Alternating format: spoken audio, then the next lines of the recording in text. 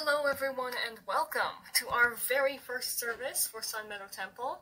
So I know today is going to be a little different. I know our original service plan includes a lot of things like songs and opening and closing words and such, but uh, this one is very much going to uh, test a lot of the technological elements and aspects of this.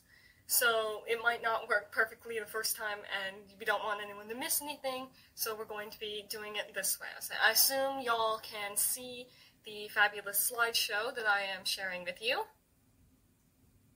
Yes, no?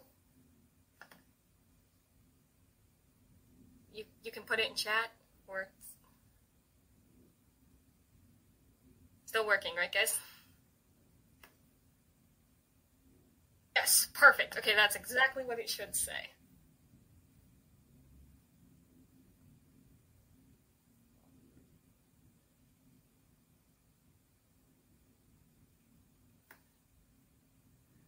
So, welcome.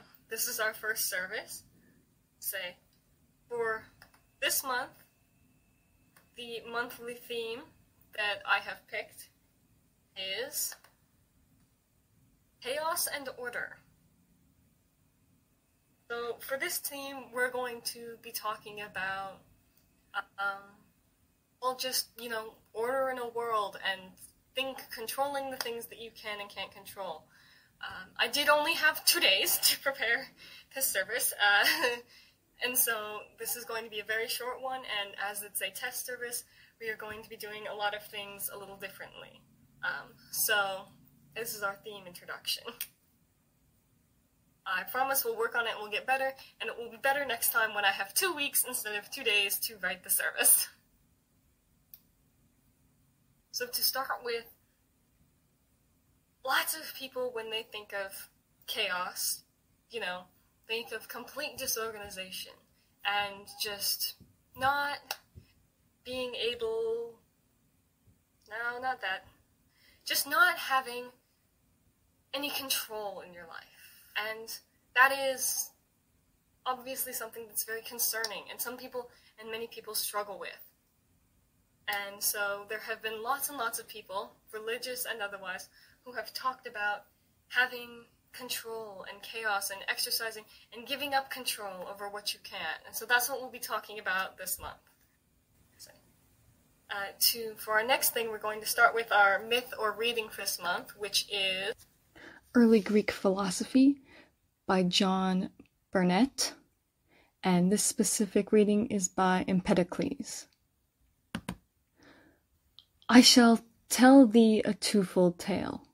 At one time it grew to be one only out of many. At another it divided up to be many instead of one. There is a double becoming of perishable things and a double passing away. The coming together of all things brings one generation into being and destroys it. The other grows up and is scattered as things become divided. And these things never cease continually, changing places at one time, all uniting in one through love, at another each born in different directions by the repulsion of strife. Thus as far as it is their nature to grow into one out of many, and to become many once more when the one is parted asunder, so far they come into being, and their life abides not, but inasmuch as they never cease changing their places continually, so far they are ever immovable as they go round the circle of existence. But come, hearken to my words, for it is learning that increaseth wisdom. As I've said before, when I declared the heads of my discourse, I shall tell thee a twofold tale. At one time it grew together to be one only out of many, at another it parted asunder, so as to be many instead of one. Fire and water and earth and the mighty height of air, dread strife too, apart from these, of equal weight to each, and love among them, equal in length and breadth. Her do thou contemplate with thy mind, nor sit with dazed eyes. It is she that is known as being implanted in the frame of mortals. It is she that makes them have thoughts of love and work the works of peace. They call her by the names of Joy and Aphrodite. Her has no mortal yet marked moving round the round among them. But do thou attend to the undeceitful ordering of my discourse. For all these are equal and alike in age, yet each has a different prerogative and its own peculiar nature. And nothing comes into being besides these, nor do they pass away. For if they had been passing away continually, they would not be now, and what could increase all and whence it come? How, too, could it perish, since no place is empty of these things? They are what they are, but running through one another, they become now this, now that, and like things evermore. Love, clinging love. This, the contest of love and strife, is manifest in the mass of mortal limbs. At one time all the limbs that are the body's portion are brought together by love in blooming life's high season. At another, severed by cruel strife. They wander each alone by the breakers of life's sea.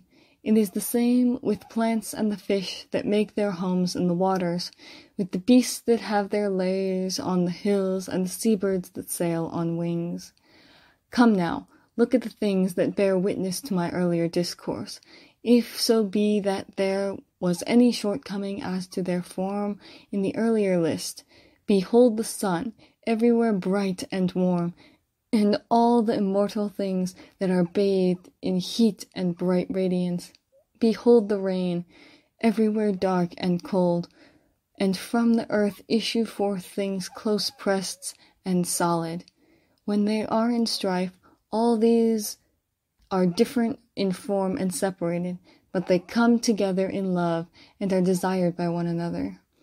For out of these have sprung all things that were, and are, and shall be, trees and men and women, beasts and birds, and the fishes that dwell in the waters, yea, and the gods that live long lives and are exalted in honor.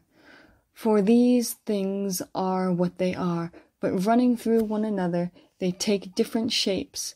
So much does mixture change them. For all of these, sun, sky, earth, and sea, are one with their parts that are cast far and wide from them in mortal things, and even so all things that are more adapted for mixture are like to one another and united in love by Aphrodite.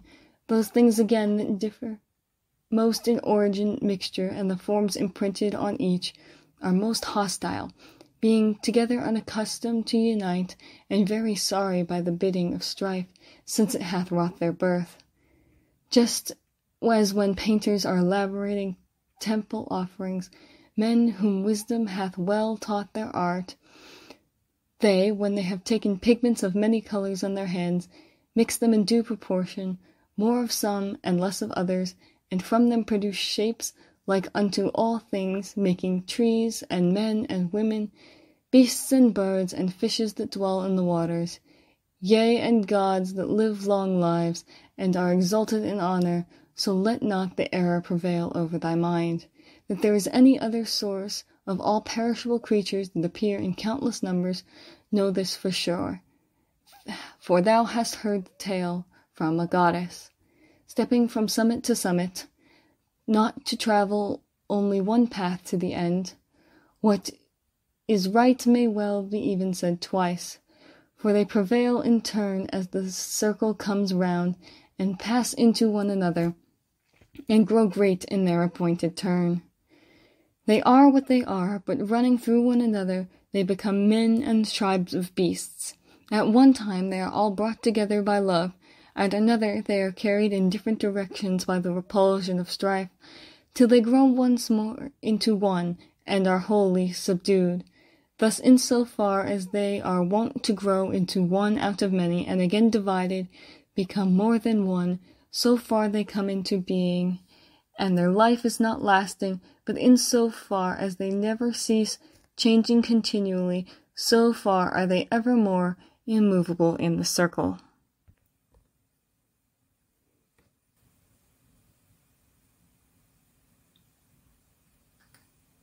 Okay, so that was going to be all for our first one. I planned for it only to be about 10 minutes as it was super short and I did not have a ton of time to work on it.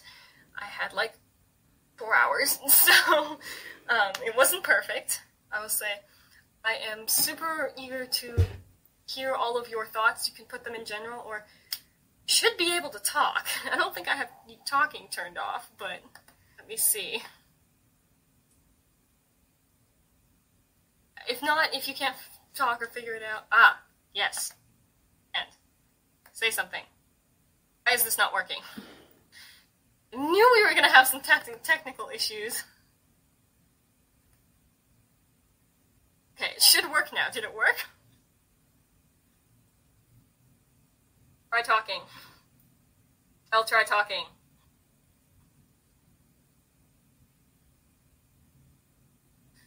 Nope, okay. Ah, Worked! I can hear you!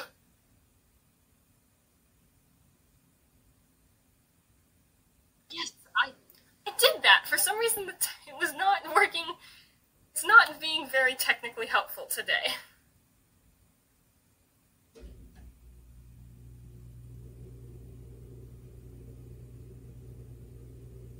Okay, there we go.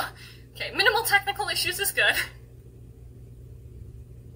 Okay, I promise next time these will be a lot longer. I've got other books and things that I just, I had like three hours today and was not in the fastest. Okay. So, yes. It's, it seems like everything is working well technically, and I swear the one that's in two weeks will be much better than this, but that was all I had planned for today. Promise, next time we're gonna have a lot more fun, we're gonna quote Camus, it'll be great. This was mainly a test reading. Could everyone constantly hear the reading, is my question. You can put it in chat or just in general. Or just raise your hand to speak. I've got, hopefully, request to speak a word. Oh, perfect! Oh, lovely! Lovely, lovely chat. Perfect.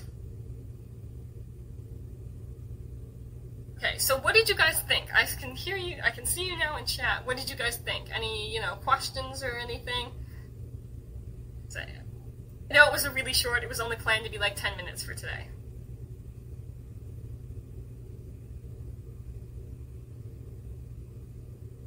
Yes, I, general themes.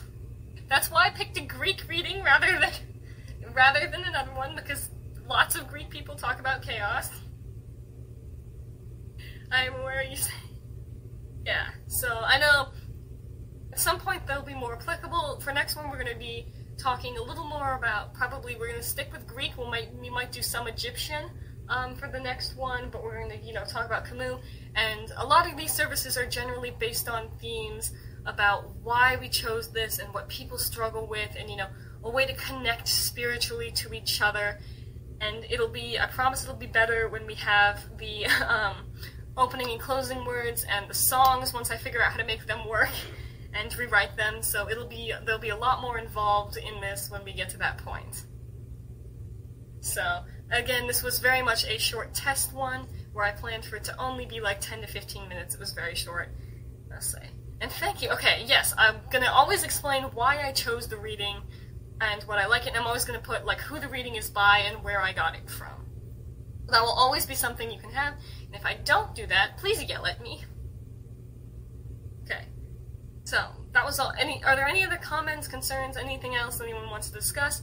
In the future, I will be sitting with the laptop facing that bookshelf and area that I showed you, and you will be able to see, um, hopefully, the books, and my chair will be over there, and there'll be the sign, and we'll be able to see all the books and have all the, the discussions. Yes, please. I would. That is literally your job as a council member to do that. So that is exactly what I want. Um, yeah. For the, in the future, there'll be more books and readings, and there'll be a lot more other stuff. So, is that good for everyone? I would love. I would love to hear your views. Like, put like 10 out of 10 in the thing, or like 4 out of 10 if you think I really did bad. Whichever you want, because this is my first time doing this, and we're working out lots of. I've spent an hour before this working out technology kinks. Perfect. 7 out of 10. I'm okay with that. Didn't expect to be perfect the first time. 8 out of 10. Excellent. Okay. I swear these will get much, much, much better when I have more time to prep everything. Have everything set. Um, so yeah, that was all I had for today. Uh, typically, we have in our schedule a coffee hour after this, so I can just have everyone talk, and I will have the and I will end the recording, um, or we can do something else, or you can all leave and not hang out. You know, it works up to you. Which do you guys prefer?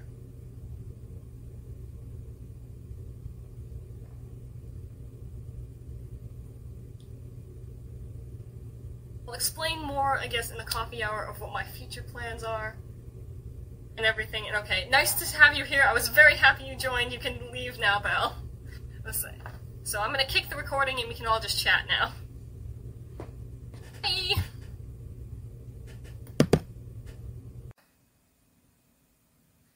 Hello everyone and welcome to everyone and welcome to our second observance. Uh, I'm so happy to have all of you here. Let me open my script for a second on my phone, just a tad behind. Okay. So, good evening or good afternoon, whatever time it is to you, and welcome to Sun Meadow Temple. Uh, we are so happy you've joined us today. My name is Alba, and I use she, her pronouns. As most of you know, this is our second service, and we are so grateful uh, to have been able to reach this place. As always, this service is recorded and will be posted on our YouTube channel.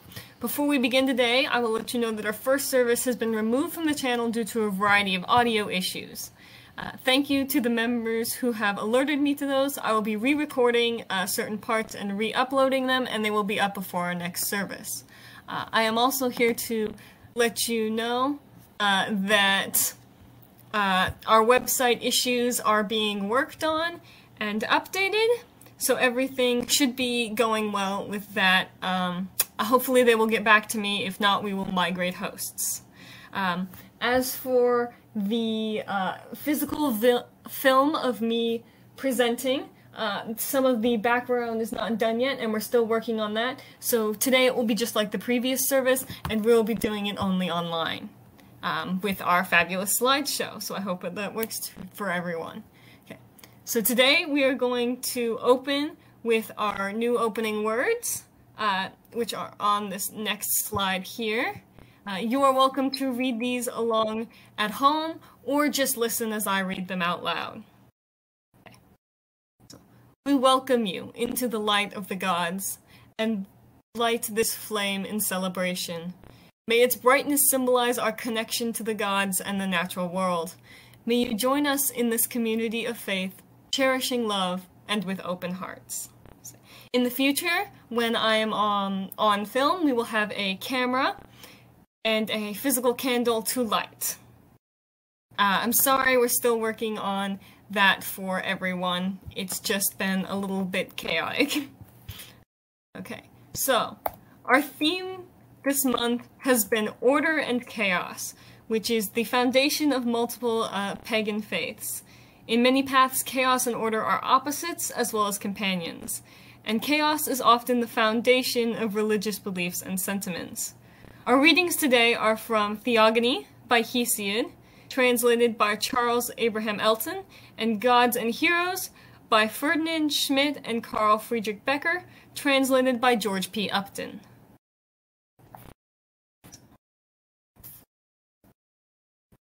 First of all beings chaos was, and next wide-bosomed earth, the seat forever firm, of all the mortals whose abode is placed among the Mount Olympus snowed topped heads, or in the dark abysses of the ground. Then love most beauteous of immortals rose, he of each god and immortal man at once, unnerve the limbs, dissolves the wiser beast, by reason steeled, and quells the very soul.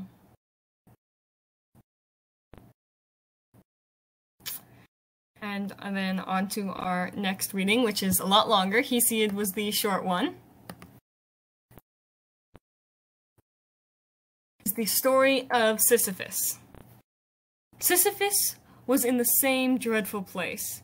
In the upper world, he had been guilty of thefts among men and the gods.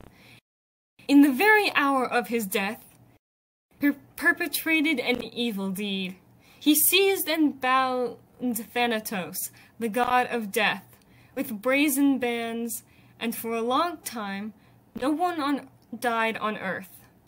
The gods of the underworld sent to Zeus this message Behold, Thanatos, who went to the upper world to bring Sisyphus here, has not returned. For several days no shade has entered our dark kingdom. Thereupon Zeus sent for the powerful war god Ares, and ordered him to find the god of death. He soon found and released him from his fetters, and Sisyphus was taken to the underworld by Thanatos. Even then he continued his deceitful deeds. He said to his wife, Do not bury my body, and make the customary death offering to the gods of the underworld. Then he appeared before Hades and Persephone and said, My wife has not buried my body, and has neglected to make the death offering. Let me go to her and remind the faithless one of her duty. Then I surely will return. His wish was granted, and he returned to the upper world. As he did not come back, word was again sent to Zeus, who dispatched the swift-flying Hermes to take the deceiver back. When Sisyphus saw the divine messenger, his courage gave way, for he knew that mo no mortal could outdo him in cunning. Hermes took him back to the Dark Kingdom, where a fearful penalty awaited him. He had to roll up a huge block of marble up a high mountain, which no sooner reached the top than it went thundering down.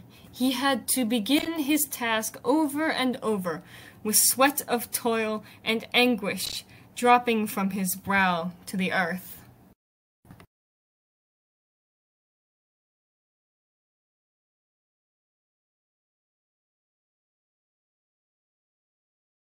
Both Kemetism and heathenry have similar concepts as this as the Hellenistic viewpoints of chaos and order. Within Kemetism, there is a god called Apep, who was the embodiment of chaos and in opposition to Ma'at, who embodies order and truth. Apep was given the title of enemy of Ra for their battles. Apep is commonly believed to have emerged alongside Ra from the waters of Nu, which you can see the depiction there on the upper right hand corner of the slide, uh, that was there at the beginning of the universe. Nu is the chaotic waters that all life and all of the world originates from. And in and are the primeval chaoses of the ocean, in this case, rather than a void in Hellenism. In heathenry, I'm sorry, I don't know how to say these words, so we're gonna go with what I assume is the best pronunciation. I assume you will correct me if I totally butcher it. The Jotnar uh, are in opposition to the Aesir. The... Okay, so Jotnar? Okay, the Jotnar are in opposition to the Aesir.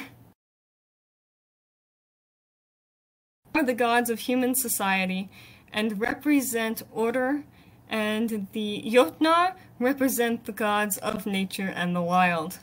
Commonly, the Aesir are attributed to life and the next realm, while the Jotnar are attributed to causes of death. Many people prayed to Thor to kill the Jotnar, who was attacking people with disease, and thus he became the guardian of humanity. There is also a concept of chaos being the void between and around realms. This is similar to the Greek etymology of the word, which originally meant void. Chaos as a deity in Hellenism was the original void from which all life emerged. In heathenry, here we go with another word I'm not going to be able to say. Uh, Ginnungagap. How'd I do? okay. Is the void between and around realms, and the birthplace of the Jotnar. Yggdrasil, in this case, represent order, as it is holding the universe together and preventing the spread of the void. In all of these belief systems, chaos is the foundation of the world, and humans and gods provide order. Uh, as you can see on our slide, in the center is a depiction of the Hellenistic view of chaos, and to the left is a drawing of Yggdrasil, the world tree. Centuries of philosophers and religious texts have explored the relationship between chaos and order. Albert Camus discussed the quest of finding order uh, in life and the ability, inability to find it in the chaos of the universe. And Sisyphus is the perfect example of Camus' philosophy of searching for meaning in a chaotic universe because he knows his fate and his days are in order at all times. The Roman poet and philosopher Lucretius explains that atoms exist within the void of chaos uh, back 75 years uh, before the Common Era, or about 2,000 years ago. In this, chaos and order have always been parts of religious and philosophical life. You cannot have chaos without order, light without dark. The importance is always balance, accepting the thing you cannot control while also applying order and process. Chaos is not inherently evil. It can be good or bad, and order is the same. Clinging to control is stressful and never successful. Leaving things entirely to chance can leave you without the ability to make choices. You should always question your beliefs and challenge their origins. Don't just accept something because it is told and it is the set order of the world. And just because there is a set order does not mean you need to follow it. Say, chaos can be a force for change and should not be resisted. But living entirely in chaos is stressful, as you are without a safeguard. Balance the order you choose with the chaos of the world. Live within the gray rather than the black and the white. Chaos and order balance each other out, and only together can they make a successful life.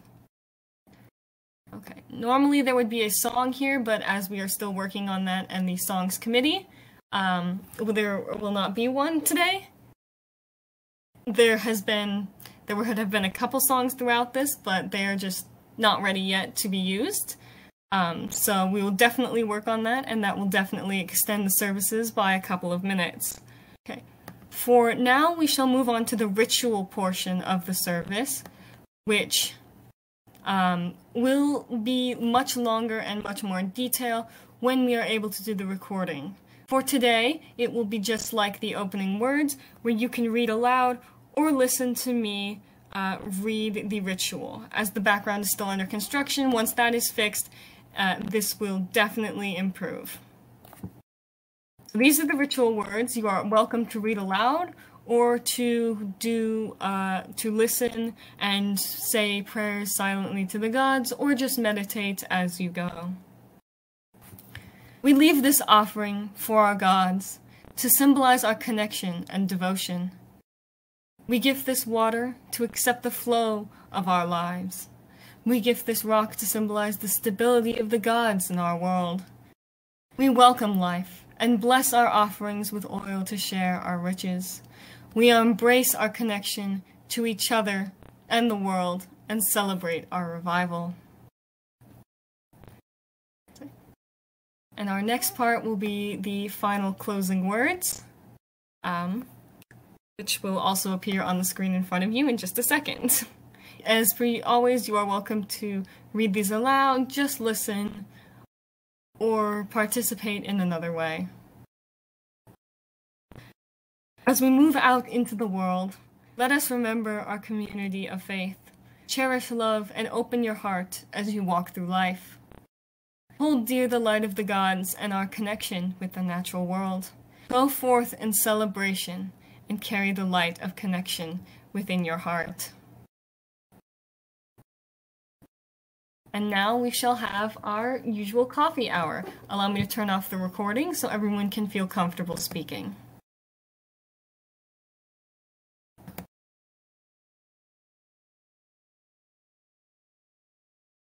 Everyone, and welcome to our second.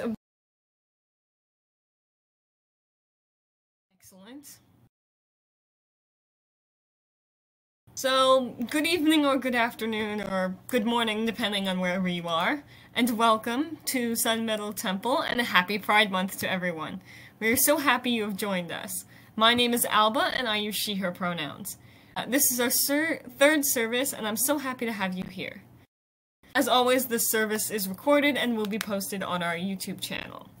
So I'm sure you guys have been keeping up to date with the updates on our website, uh, and if you have not seen, I have the host for our original website has completely gone offline and gone down. So I have we have a new website set up. Uh, the link is in the announcements. The link is in announcements. As per usual, we will open today with our opening words, and they will appear on the screen behind you. And you please read along at home, um, or just listen as I read them. into the light of the gods, and light this flame in celebration. May its brightness symbolize our connection to the gods and the natural world. May you join us in this community of faith, cherishing love and with open hearts.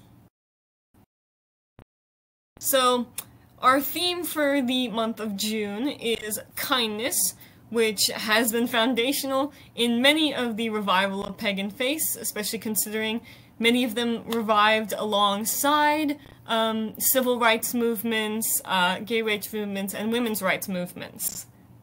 Many ancient uh, faiths also focused on kindness through ethics and other societal expectations. So today we'll jump right into our readings because I do apologize. They are way longer than I anticipated today. Um, so we are reading from the Iliad and I'm gonna butcher this even though I was trying to help. The Havamal. So our, oh, here we go. So our first, oops, forgot to switch to the kindness slide. Sorry, my bad. So our first reading is this one from uh, Mr. Buckley. And so it begins, uh, this is in the middle of a battle after a speech given by the Trojans. But Glaucus, son of Hippolochus and son of Tydeus, met in the midst of both armies, eager to fight. But when they were near, going against each other, Diomede, brave in the din of war, first addressed him. Who of mortal men art thou, O most brave? For never yet have I beheld thee in the glorious fight, but now indeed thou hast far surpassed all in thy confidence, since thou hast awaited my long-shadowed spear. Certainly they are sons of the hapless who have who meet my strength, but if one of the immortals thou art, come from heaven, I would not fight with the celestial gods. For valiant Lycurgus son of Dryas, did not live long who contended with the heavenly gods. He who once pursued the nurses of raving Bacchus through sacred Nysia, but they all at once cast their sacred implements on the ground, smited by manslaying Lycurgus with an ox goad.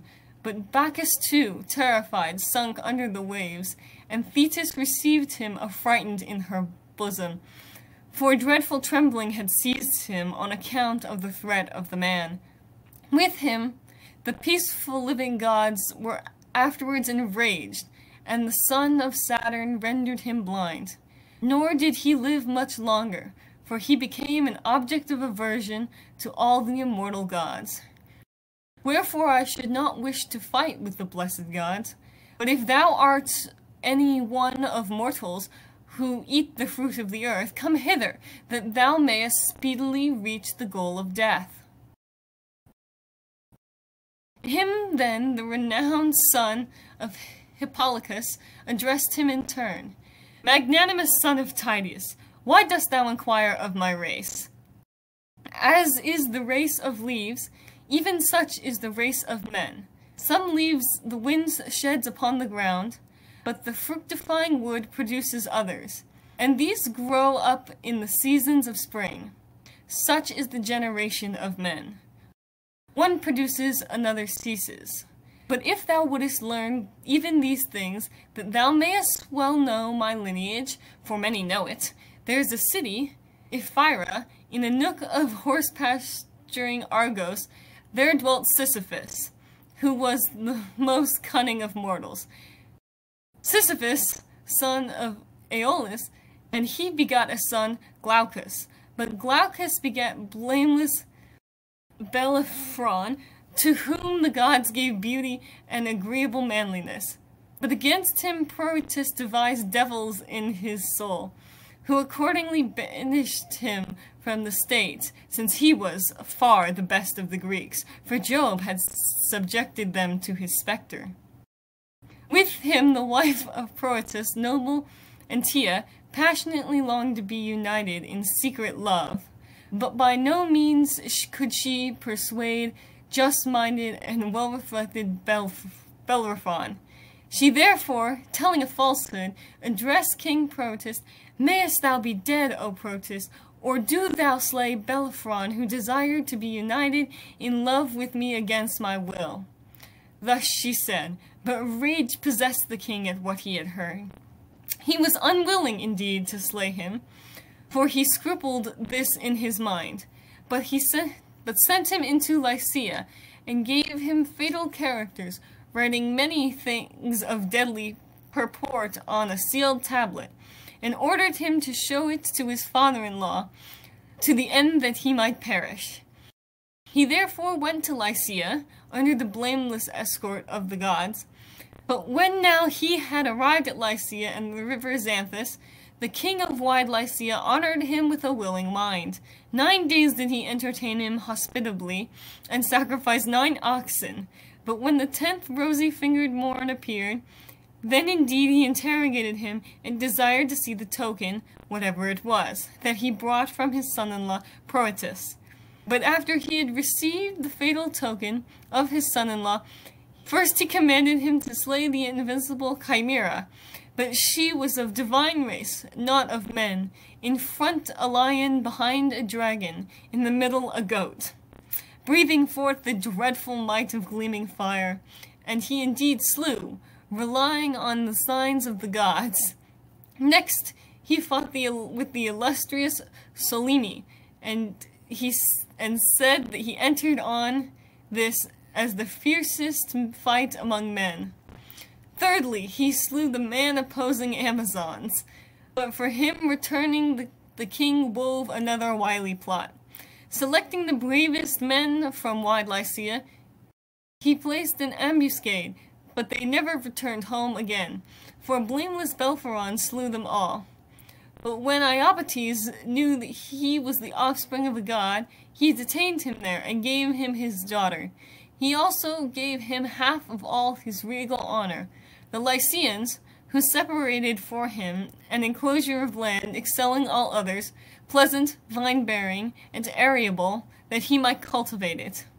But this woman brought forth three children to warlike Bellerophon, Isandrus, Hippolochus, and Laodamia. Provident Jove indeed had clandestine intercourse with Laodamia, and she brought forth godlike brazen helmet Sarpedon, but when now even he, Belf Bellerophon, was become odious to all the gods, he on his part wandered alone, through the Aleian plain, pining, pinning his soul and shunning the path of men. But Mars, insatiable of war, slew his son Isandrus, fighting the illustrious Asolmi, and golden-reigned Diana, being enraged, slew his daughter. But Hippolochus begat me, and from him I say that I am born. He sent me to Troy, and gave me very many commands. Always to fight bravely, and to be superior to others, and to not disgrace the race of my fathers, who were by far the bravest in Ephyria and ample Lycia, from this race and blood do I boast to be. Thus he said, and Diomed, valiant in the din of war, rejoiced. His spear indeed he fixed in all-nurturing earth, and next addressed the shepherd of the people in courteous words. Certainly thou art my father's ancient guests, for in his halls noble Oeneus once entertained Belpharon, having detained him for twenty days, and they bestowed valuable gifts of hospitality on each other. Oeneus, on his part, gave a belt of shining purple, and Belpharon, in turn, a golden double cup, and this I left in my halls when I was coming hither. But Tydeus I remember not, for he left me whilst I was yet young, when the people of the Greeks perished at Thebes. Wherefore I am a guest friend to thee amidst of Argos, and thou art the same to me in Lycia, whenever I shall visit their states. But let us also in the crowd avoid even each other's spears, for there are many Trojans and illustrious allies for me to slay, whomsoever the deity shall present, and I shall overtake with my feet.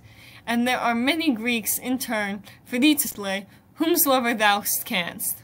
But let us exchange arms with each other, that even these may know that we profess to be friends by our ancestors. Thus then, having spoken, leaping down from their seats, they took each other's hand and plighted faith. Then Saturnian Jove took away prudence from Glaucus, who exchanged armor with Diomed, the son of Tydeus, giving golden arms for brazen, the value of hundred beeves for the value of nine.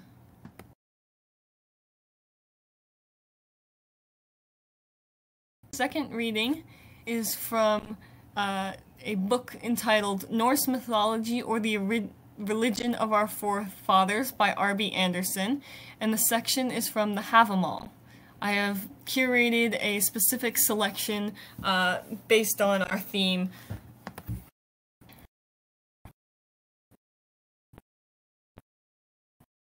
He is happy, for whom for himself obtains fame and kind words, Less sure is that which a man must have in another's breast.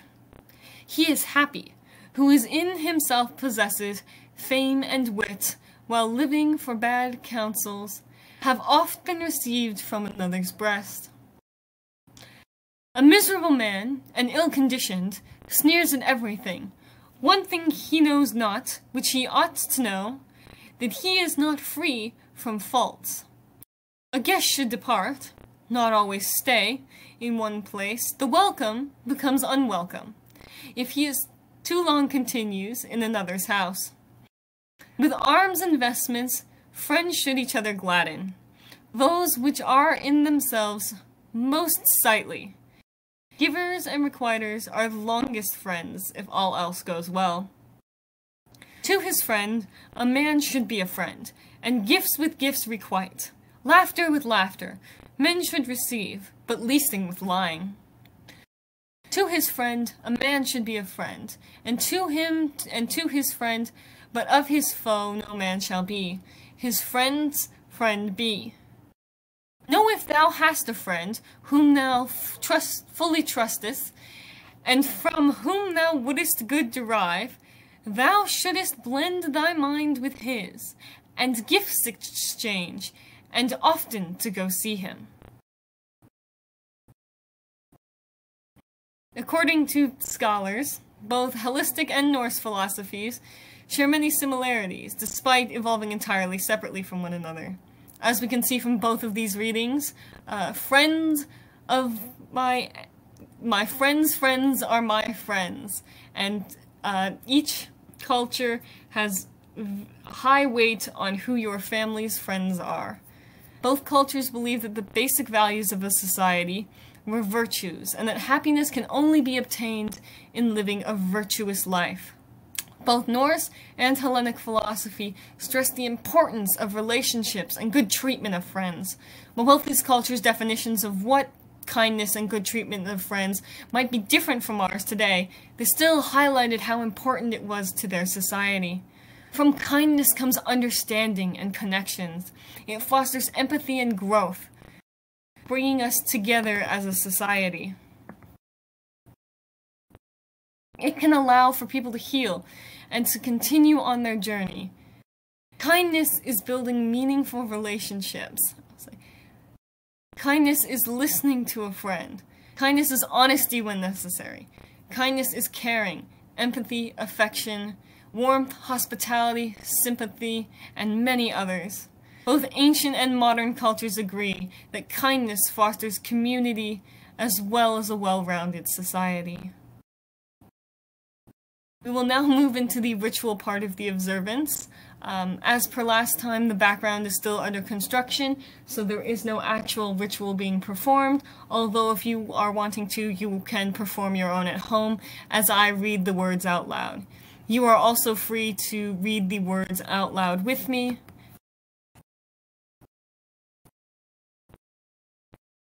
We leave this offering for our gods, to symbolize our connection and devotion. We give this water to accept the flow of our lives. We give this rock to symbolize the stability of the gods in our world. We welcome life and bless our offerings with oil to share our riches. We embrace our connection to each other and the world and celebrate our revival. As we're still working on the songs, uh, this service is lacking them, but normally there would be a song or two here. Um, but now we shall move into our closing words, which, as with all of the opening words, you are welcome to stay along with me, or just listen as I say them. As we move out into the world, let us remember that our, commu our community of faith hold dear to the light of the gods and our connection with the natural world. Cherish love and open your heart as you walk through life. Go forth in celebration and carry the light of connection within your heart. And now we usually have our coffee hour, so I'm going to disconnect the recording, and if you want to speak, uh, feel free to use the raise your hand to speak feature, and I will absolutely approve you, and we can all hang out and talk.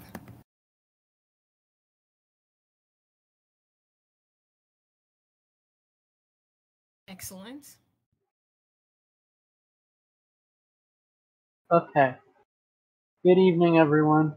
Welcome to Sun Meadow Temple, and we're so happy that you've joined us. My name is Gus, and this is our Pride Month service, and I'm so happy you're here. As always, the service is recorded and will be posted on our YouTube channel.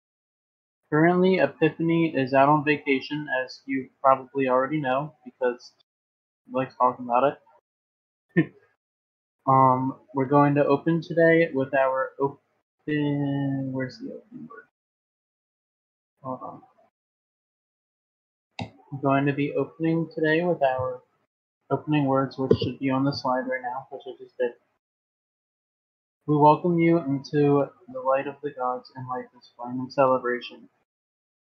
May, may its brightness symbolize our connection to the gods and the natural world.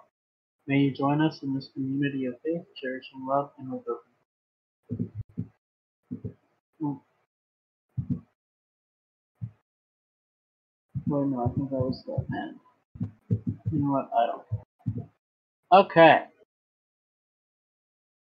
So today is our Pride Month service, Pride Month service, and we will be reading clips from a variety of myths, queer themes anyone in the.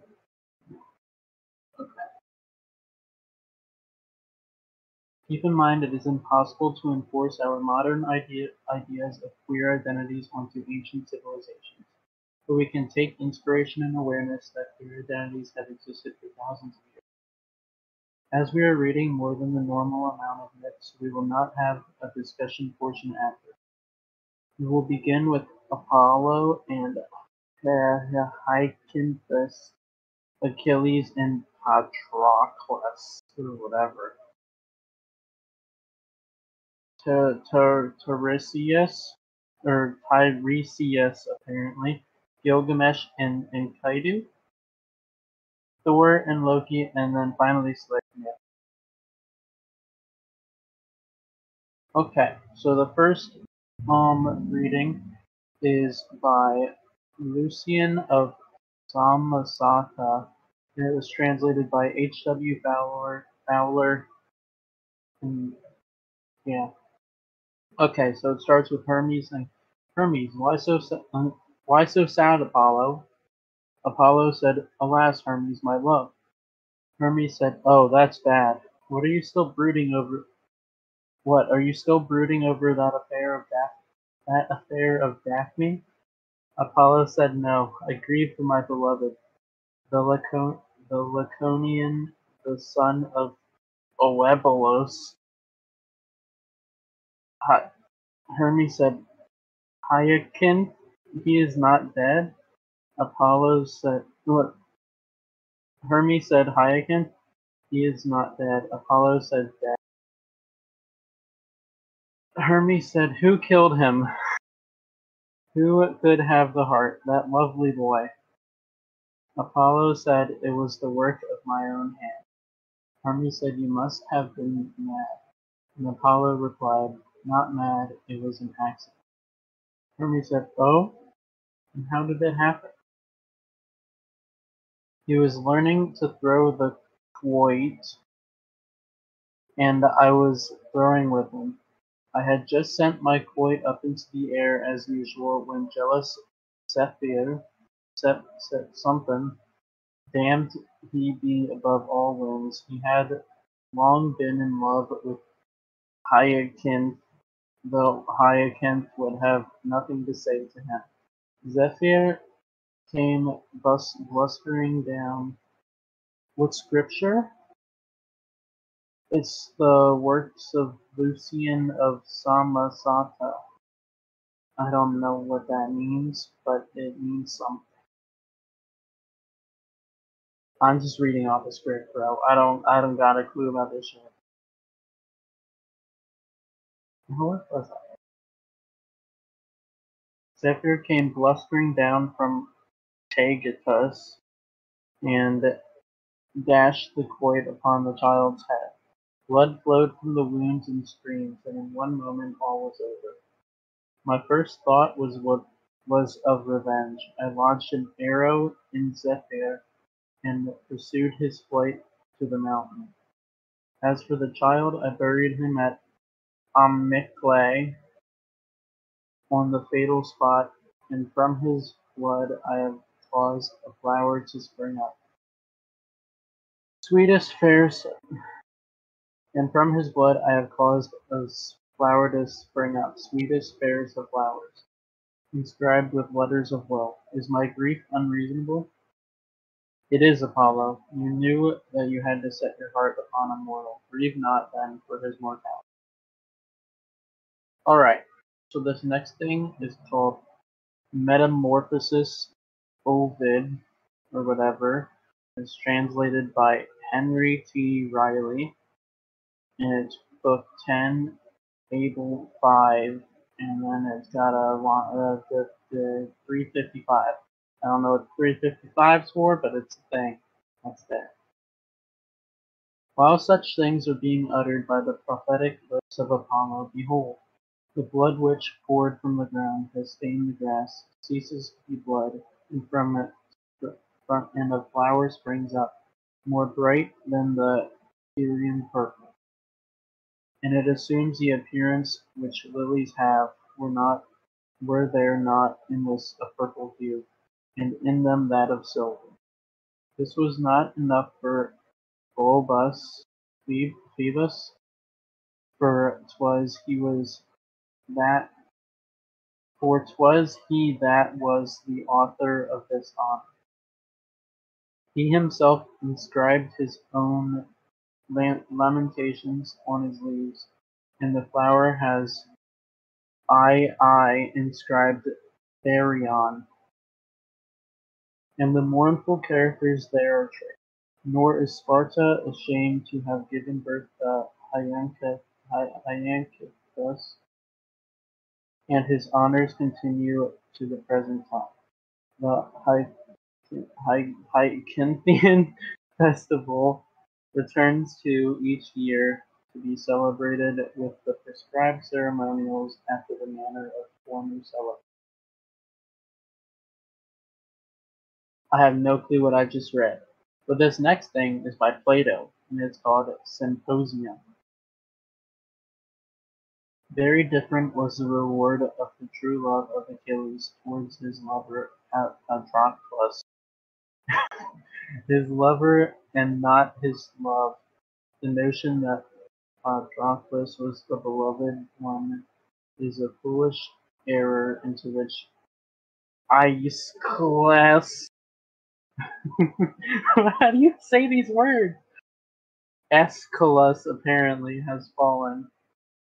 For Achilles was surely the fairer of the two, fairer also than the other hero, than all the other heroes.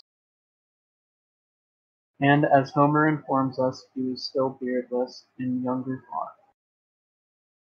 And greatly as the gods honor the virtue of love, Still the return of love on the part of the beloved to the lover is more admired and valued and rewarded by them, for the lover is more divine.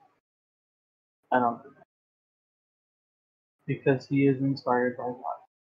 Now Achilles was quite aware, for he had been told by his mother that he might avoid death and return home and live to a good old age. If he abstained from slaying Hector, if he abstained from slaying Hector. Nevertheless, he gave his life to revenge. Nevertheless, he gave his life to revenge his friend, and dared to die, not only in his defense, but after he was dead.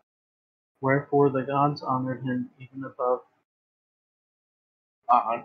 Acestus, and sent him to the islands of the blessed. These are my reasons for affirming that love is the eldest and noblest and mightiest of the gods, and the chiefest author and giver of virtue and life and of happiness after death. Okay, this one is another part of Metamorphosis by Metamorphosis Ovid. It's translated by Henry T. Riley. Book 3, Fable 5, called Tiresias in its stanzas 110 through 115. And while these things are transacted uh, on earth by the law of destiny, in the cradle of Bacchus, twice born 66 is secured. They tell that Jupiter or Jupiter, by chance, was drenched with nectar, laid aside all weighty cares, and engaged in some free jokes with Juno. In her idle moments, she said, and, and said, Decidedly, the pleasure of you females is greater than which falls to male. She denied it. It was agreed between them to ask what what the opinion of the experienced Tiresias to him both pleasures were well known, for he who had separated with a blow of his staff two large bodies, two bodies of large service, as they were coupling in a green, as they were coupling in a green wood, and become and become a woman from a man he had spent seven on. In the eighth he again saw the same serpents, and said, If the power of the stroke given given you is so great as to change the condition of the giver into the one, I will now strike you again. Having struck the same snakes, his former sex returned, and his origin shape came again. He therefore, being chosen as um, umpire in the sportive contest, confirmed the loves of Jove. The daughter of Saturn is said to have grieved more than was fit, and not in proportion to the subject. And she condemned the eyes of the umpire to eternal darkness. But the omnipotent Father, who does not allow any god to cancel the acts of another deity, gave him the knowledge of things to come. In reconciliation in recom I know this word. In re re- recompense for his loss of sight and alleviated his punishment by this harm. I'm sorry, I'm bad at reading. Gilgamesh 33 to 34. Langdon Babylonian section volume, volume 10 number 3. I saw him and was astounded. I loved him as a woman falling upon him in embrace. That one was short. Alright, this one is called Norse Mythology by R.B. Anderson. Wrath was Vingthor as he awakened in his hammer goodness. His beard shook, his hair trembled, the son of earth looked around him. Thus first of all he spoke, Mark now, Loki, what I say.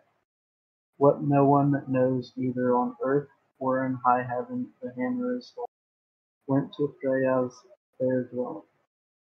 There in these words Thor spoke, Wilt thou, Freya, lend me thy feather guise, that I may that I my hammer Mjolnir may fetch. I gave it thee I gave it thee gladly, though it were of gold, I would instantly give it though it were of silver. Flew then Loki the feathered guise whiz. Out he flew from street from home of Asas, meaning Aesir gods, then he flew to home of Jotnar. On the hill sat Thrym, the king of giants, twisted gold bands for his dogs, smoothed at leisure the manes of his horses. Thrym said, How fare the Asas? How fare the elves? Why comest thou alone to Jotunheim? Loki replied, Ill fare the Asas, ill fare the elves. Hast thou concealed the hammer of Thor? Thrym said, I have concealed the hammer of Thor, eight rods beneath the ground. No man brings it back unless he gives me Freya as his bride. Flew then Loki, the feather guise blazed. Out he flew from home of Jotnar, in he flew to home of Asas. Met with Thor first of all, and thus addressed him, Hast thou succeeded in doing thine errand? Then tell before perching long messages. What one says sitting is often of little value, and falsehood speaks who replies. Loki said, Well, well, I have succeeded in doing my errand. Thrym has thy, thy hammer, the king of the Jotnar. No giant brings it back. No, no man brings it back unless he gives him Freya as bride. When they then, when they then the fair Freya to find, first then Thor thus addressed her: Dress thyself, Freya, in bridal robes. Together we will ride to Jotunheim. Mm-hmm.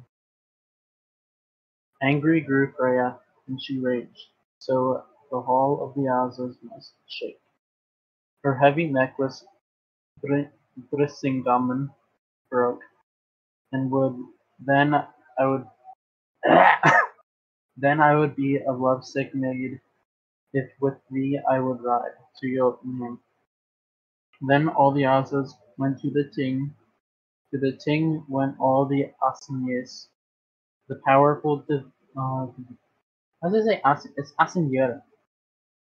The powerful divinities and held consult how they should get and held consult how they should get the hammer. Then spoke Heimdall, the wisest god, foreknowing was he as the Van's are. Dress we Thor in bridal robes, Brisingamen he must beware. Let jingle keys around his waist, let a woman's dress cover his knees. On his bosom we put broad brooches, and artfully we braid his his hair gray, and artfully we his hair gray. Spoke then Thor, the mighty god, mock me all the Asas would, if in bridal robes I should be dressed. Spoke then Loki, Lofeson, Loferson. Be silent, Thor, stop such talk. Soon will Jotnar build an Asgard, if though thy hammer bring not back. Dressed they then Thor in bridal robes, Brisingamen he had to wear, keys what they jingle about his waist, and a woman's dress fell over his knees, on his bosom they placed broad brooches, and artfully they did they artfully they his hair did braid. Spoke then Loki, For thee I must be servant maid. Ride we both to Jotunheim. Home were driven then the goats, and hitched to the car. Hasten they must, the mountains crashed, the earth stood in flames. Ulfden's son rode to Jotunheim, spoke then Thrym, the king of giants. Giants, arise and spread my benches. Bring to me Freya as bride, Njoptha's daughter from Niflheim. Cows with golden horns go in the yard, black oxen to please the giant. Much wealth have I, many gifts have I, Freya, methinks, is all I lack. Early in the evening came they all, ale was brought up for the Jotun. One ox Thor ate, eight salmon, eight, eight salmon, and all the delicacies for the woman intended. Sif's husband, Sif's husband besides drank three barrels of mead. Spoke then Thrym to the king of giants. Where hast thou seen such a hungry bride? I never saw a bride eat so much, and never a maid more than me, and drank drink more mead. Sat there the shrewd maid servant near, thus she replied to the words of Thrym. Nothing ate Freya in nine in eight nights. So much did she long for Jotunheim behind the veil. Who sought a kiss, but back he sprang the length of the wall. Why are Freya's eyes so sharp? From her eyes it seems that fire doth burn. Sat there the shrewd maid servant near, and thus she spoke, answering the giant. Slept has not Freya for eight nights, so much did she long for Jotun.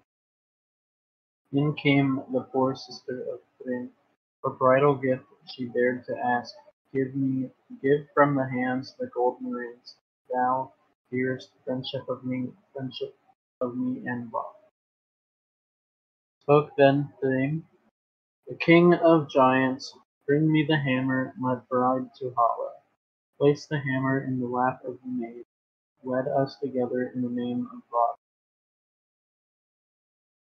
Laughed then Thor's heart in his breast.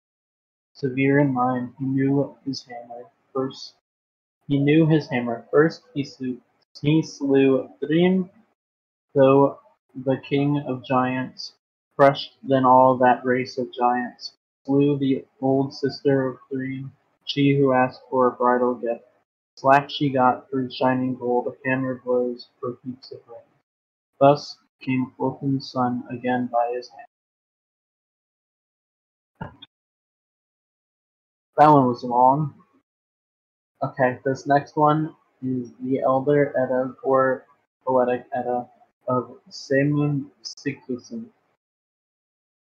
It's translated from the original Old Norse into English by Benjamin Thorpe and the Younger Edda of Younger Eddas of Snorri Sturluson was translated by I. A. Blackwell. Of the horse Sleipnir thou madst mention, said Gangler. Of the horse Sleipnir, to whom does he belong, and what is there to say respecting him? Thou seemest to know nothing either about Sleipnir or his origin, replied Hogg, but thou wilt no doubt find what thou wilt hear worthy of thy notice.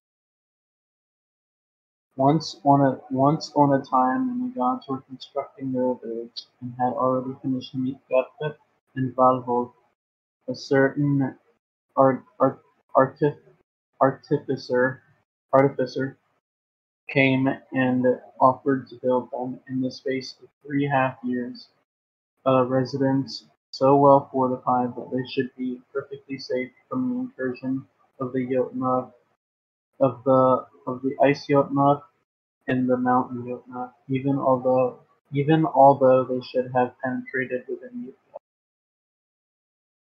But he demanded for his reward the goddess Freya, together with the sun and moon. After long deliberation, the Aesir agreed to his terms, provided he would he would finish the whole work himself without anyone's assistance, and all within the space of one winter.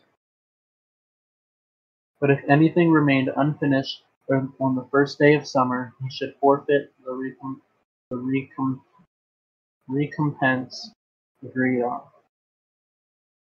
On being told these terms, the artificer stipu- stipulated that he should be allowed the use of his horse, called Speedappa Svadipari, and thus, by the advice of Loki, was granted to him. He accordingly set to work on the first day of winter, and during the night let his horse draw stone for the building. The enormous size of the stone struck the Aesir with astonishment, and they saw clearly that the horse did one half more of the toilsome work than his master. Their bargain, however, had been concluded in the presence of witnesses, and therefore by solemn oaths, for these without precaution for without these precautions a Jotun would not have thought himself safe among the Aesir, especially when Thor returned from an expedition he had then undertaken towards the east against evil Phoenix. As the winter drew to a close, the building was far was far advanced, and the bulwarks were sufficiently high and massive to render this residence impregnable. In short, when it wanted but three when it wanted but three days to summer, the only part that remained to be finished was the gateway. Then sat the gods on their seats of justice and entered into con- consultation, inquiring of one another who among them who among them could have advised to give Freya away to you and Jotunheim, or to plunge the heavens in darkness by permitting the giant to carry away the sun and moon. They all agreed that no one but Loki, the son of Laufey, and the author of so many evil deeds, could have given such bad counsel, and that he should be put to a cruel death if he did not contrive some way or other prevent the artificer from completing his task and obtaining the stipulated re- recom- recompense. recompense. They immediately proceeded to lay hands on Loki, who, in his fright, promised upon oath that it would that let it cost him what it would, he would so manage matters that the man should lose his reward. That very night, sorry, excuse me, I had. That very night, when the artificer went with Svadripati for building stone, a mare suddenly ran out of the for- suddenly ran out of the forest and began to neigh. The horse, being thus excited, broke loose and ran after the mare into the forest, which obliged the man also to run after the horse. And thus between one and the other and thus between one and the other the whole night was lost, so that at dawn the work had not made the usual progress. The man, seeing that he had no other means of completing his task, resumed his own gigantic stature. And the gods now clearly perceived that it was that it was in reality a mountain giant who had come amongst them. No longer regarding their eggs, they therefore called on Thor, who immediately ran to their assistance, and lifting up his hammer Mjolnir, paid the workmen his wages, not with the sun and moon, and not even by sending them back to Jotunheim. For with the first blow he shattered the giant's skull to pieces, and hurled him headlong, into a Niflheim. But Loki had ran such a race with Svaldifari that shortly after he bore a grey fowl with eight legs. This is the horse Sleipnir, which excels all horses ever possessed by gods or men. Okay, we're done reading. Thankfully. This month, as we celebrate the diversity of our world, let us remember those who came before and those who fought for the world we now have today. We will now move into the ritual part of the observance. If you want to, you can join us at home and read the words aloud or just listen. Uh, I need to change the thing. You are welcome to com complete the ritual at home. We live this we leave this offering for our gods to symbolize our connection and devotion. We gift this water to accept the flow of our lives. We gift this rock to symbolize the stability of gods of the gods in the world. We welcome life and bless our offerings with oil to share our riches. We embrace our connection to each other and the world and celebrate our revival. As we move out into the world, let us remember our community of faith. Cherish love and open your heart as you walk through life. Hold dear the light of the gods in our connection with the natural world. Go forth in celebration and carry the light of connection within your heart. Okay. We're done with that part.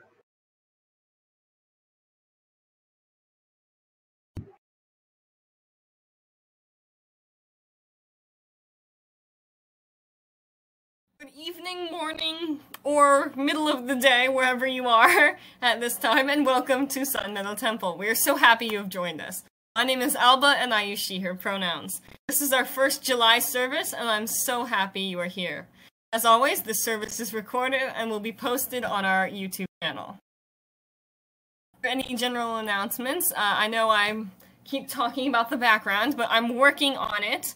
Uh, the and with the products, we've had one of our um, assisters who uh, not a member but who is helping us with products has uh, come up with a great idea which I will share with you uh, later when we work out some of the kinks but due to all of the issues with Reddit and similar we've had some massive delays in things such as the technology, the songs, the products, all of that stuff has just been delayed I'll say.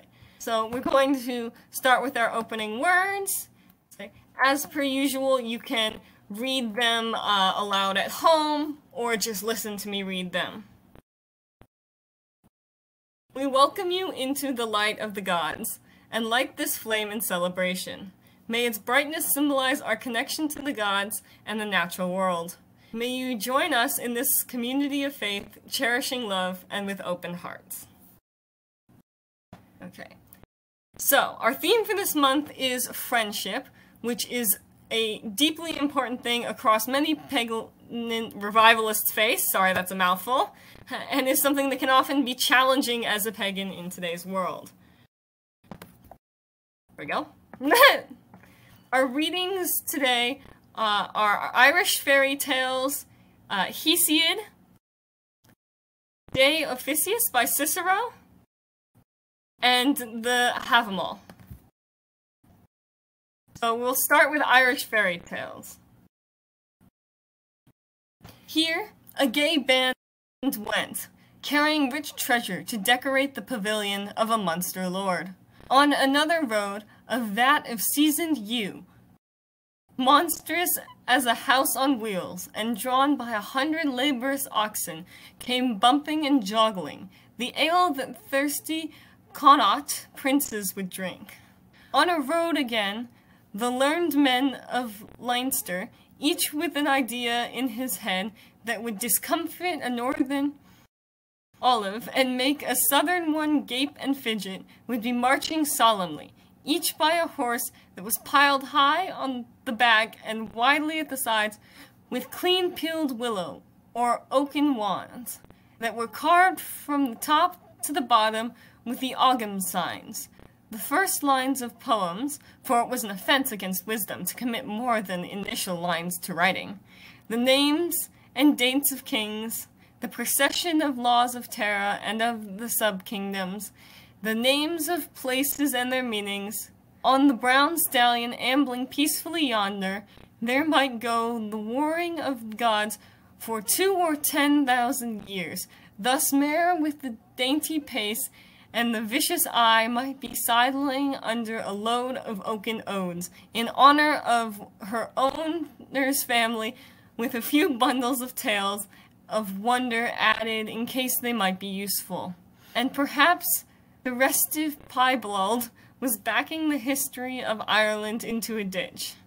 On such a journey, all people spoke together, for all were friends, and no person regarded the weapon in another man's hand other than as an implement to poke a reluctant cow with, or to pacify with loud wallops some hoof-proud colt. Okay. So then we will do uh, Hesiod's. Let friends oft bidden to thy feast repair. Let not a foe the social moment share. Chief to thy open board the neighbor call, when unforeseen domestic troubles fall. The neighbor runs ungirded, kinsmen wait, and lingering for their raiment hasten late. As the good neighbor is our prop and stay, so is the bad a pitfall in our way. Thus blessed or cursed, we this or that obtain, the first a blessing, and the last a bane. How should thine ox by chance untimely die? The evil neighbor looks and passes by. If aught thou borrowest, well the measure weigh, the same good measure to thy friend repay. Or more, if more, thou canst unask, concede, so shall he promptly supply thy future need. Usurious gains avoid usurious gain. Equivalent to loss will prove thy bane. Who loves thee love, him woo that woos give to the giver. Right, now we are doing De Officiis uh, by Cicero. They say that Damon and Phintias of the Pythagorean school enjoyed such ideally perfect friendship that when the tyrant Dionysius had appointed a day for the execution of one of them, and the other who had been condemned to death requested a few days' respite for the purpose of putting his loved ones in the care of friends, the other became surety for his appearance, with the understanding that if his friend did not return, he himself should be put to death. And when the friend returned on the day appointed, the tyrant, in admiration for their faithfulness, begged that they would enroll him as a third partner in their friendship. And our final reading for today is from the Havamal, which I hope I'm saying that right. I practiced it a lot.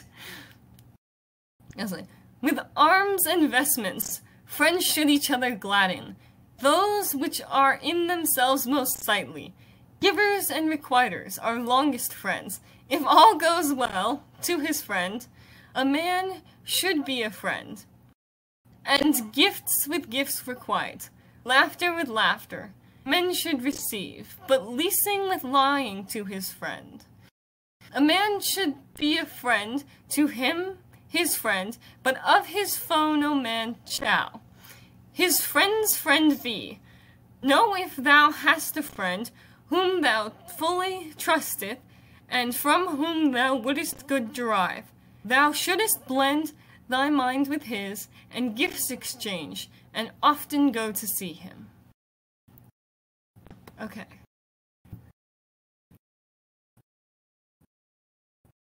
So, as I sat down to write this piece uh, at my computer, I decided that probably the first thing I should do would be to Google friendship and other values within paganism today.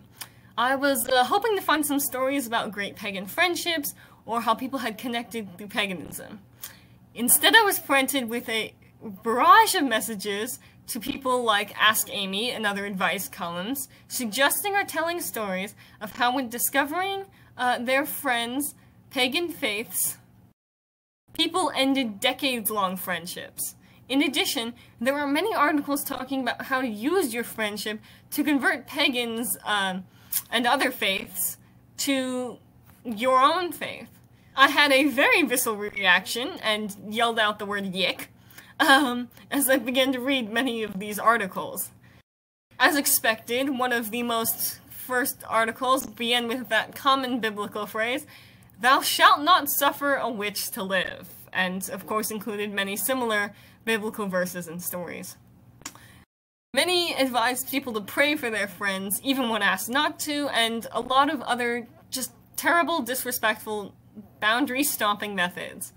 I was deeply uncomfortable and began scrolling to see if I could find other resources and articles that would assist me in the search for true stories of pagan friendships, but the limited results showed me that I was not likely to find what I was looking for. These search results were truly a surprise for me, because most of my time spent online is within other pagan circles or groups, and I forget how much disapproval for our practices and beliefs exists outside of these circles. For many pagans, religion, while still deeply important, is not the deciding factor in a friendship. Treating others well and being good to your friends is a cornerstone in most pagan faiths. Our shared values and perspectives on friendship lead us to be able to bond across religions that might have conflicting points without being in conflict with one another, and as such, we have a, such a deeply bonded community. This is not to say that pagans are perfect, or that pagan communities are, but it is to say that our major differences don't cause us any strife in our relationships, and these differences causing strife is not something we would allow in our friendships. i Say, we base our friendships on respect, cooperation, acceptance, enjoyment, and shared values, uh, say, not specific religious beliefs. Many past pagans hold similar values, with the Havamal from earlier, discussing how to be a good neighbor and friend, and Irish folk tales saying all people spoke together, for all were friends, and no person regarded the weapon in another man's hand other than as an implement to poke a reluctant cow or to pacify with loud wallops some hoof-proud colt. Major philosophers like Aristotle discuss friendship and say that friends must wish each other goodwill and be virtuous people. These values that we hold dear and are such a part of our literature and philosophies, allow us to connect more deeply with each other, to understand, have empathy, and be loyal to one another, to weave a tapestry of a variety of human experiences and stories, and to brighten our world rather than keep close those whose threads resemble our own. As our closing words say, go forth in celebration and carry the light of connection within your heart. So, we will now move into the ritual part of our observance. Uh, if you want, you can join us at home with, along with the ritual, which I have not ever gotten a chance to show you due to um, our background and stuff not being ready, but there will be a real ritual at a time for this, along with these words, and you are welcome to read along, um, or just have me listen, or just listen to me as I read the words aloud. We leave this offering for our gods to symbolize our connection and devotion. We gift this water to accept the flow of our lives. We gift this rock to symbolize the stability of the gods in our world. Life and bless our offerings with oil to share our riches. We embrace our connection to each other and the world and celebrate our revival. So now we will move into our closing words, um, which, as always, you are welcome to say along with me or just listen as I say. As we move out into the world, let us remember our community of faith. Cherish love and open your heart as you walk through life. Hold dear the light of the gods and our connection with the natural world. Go forth in celebration and carry the light of connection within your heart. So, now we'll move into our coffee hour portion, and I will turn off the recording, and you all can to speak.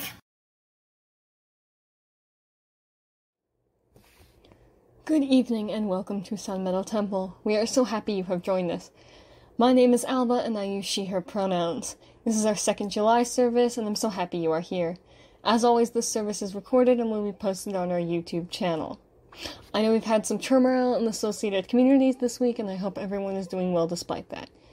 As per usual, the background is still being worked on, and due to questions this week, I realized I didn't explain why it's taking so long, so here we go. Most of the background is a decorated bookshelf, but part of it is a big sign which I am hand decorating, uh, and including measuring out letters and other things, which is adding greatly to the time.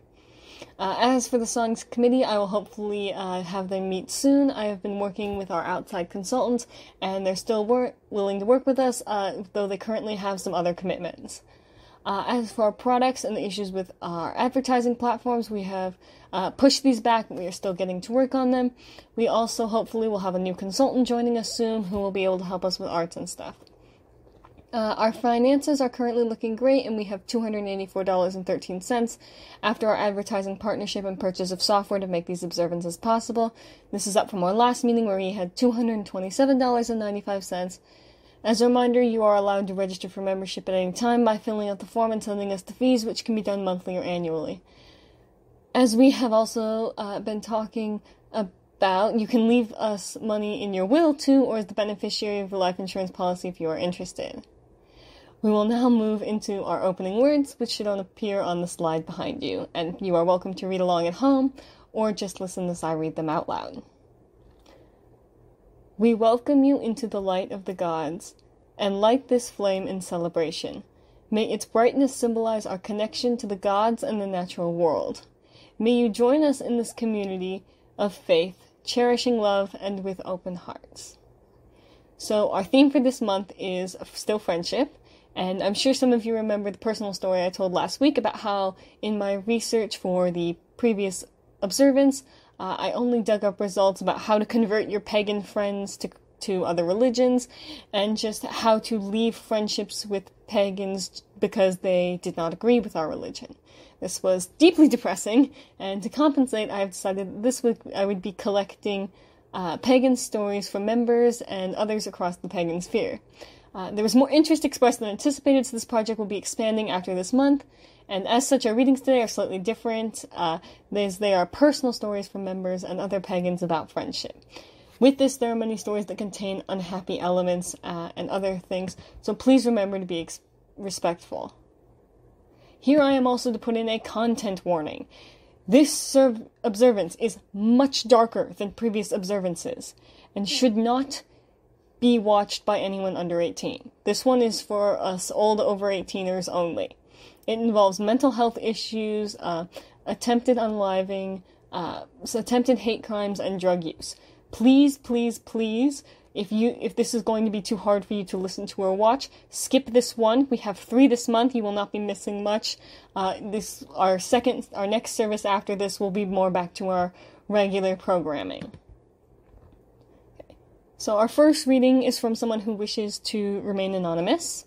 Um, they said, I met my two best friends, my sisters, when there was talk of adding a more accurate occult themes into a role playing server. It evolved into a channel for occult and witchy stuff. The server is gone now, uh, but we're still a mini coven. Our second one is from a member of our members called Wyatt. I've been looking for ages for a forum or group of anything to feel like I'm in a community of pagans like me. Following people on Instagram and TikTok isn't the group setting or the correct vibe. I never really had many friends, especially no one I could talk to about pagan stuff. While Googling to try to find a good community, uh, more like a forum or group chat. Uh, the Discord, Sun Meadow Temple, uh, came up. This uh, is an excellent Discord. Uh, I believe there's a spelling error in here. Hold on. Uh, don't know what that's supposed to say, but to have more say okay, anyway, uh, to have more say in the temple, but can also be a non paying member like me, uh, have now made friends and we share memes, pagan and non-pagan related, have conversations about pagan and non-pagan related issues, and it makes me feel not alone since I don't know any pagans in real life and don't have many friends in real life. This one is from Micro Maria. Uh, I came to the pagan community online because I felt alone. There aren't many pagans around my IRL environment, and I just needed like minded people for sharing my religious experiences at the time.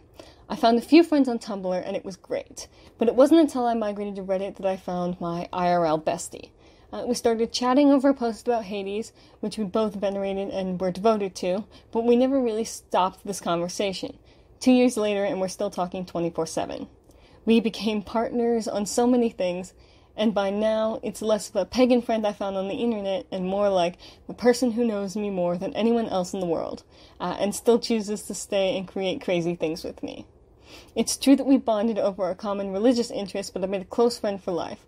I thank the gods for that connection. My best friend is everything I ever wanted in a friend within and outside of religious circles.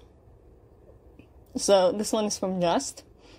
About a year or so ago, I came across this cool person at work who I later learned was a Hellenic pagan. While I was still very much in the broom closet with my faith, she, now he, helped me realize that I wasn't completely alone and that paganism is a lot more common than I previously thought. They are a great influence to me in my openness about paganism, so I may uh, show to closeted pagans that there are more of us than they think, and that they're not alone. Today I'm still friends with him, and he's even hangs out in Sun Meadow Temple, although he's not very active. He plays Minecraft with us a lot, though. Okay, so this one is Evie, and this one has a couple of content warnings on it. So if you listened up until now, uh, this would be the time to stop. Please, please be considerate of your own mental health when listening to this video. My only close bond friendship with another pagan was back when we met as coworkers. We got along pretty well due to us having the same first name. Uh, I've met a couple of pagans before in person, and well, those of them that were nice enough to call friends. I can't say any of us became close, as for my ex coworker, we still communicate. The story of how we met goes as follows.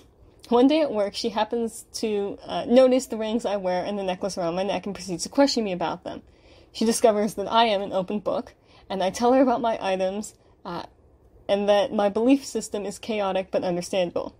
In return, she tells her side and brings out the exact same necklace I have and displays it as if fate was like, yeah, you two are chill. Be chill together.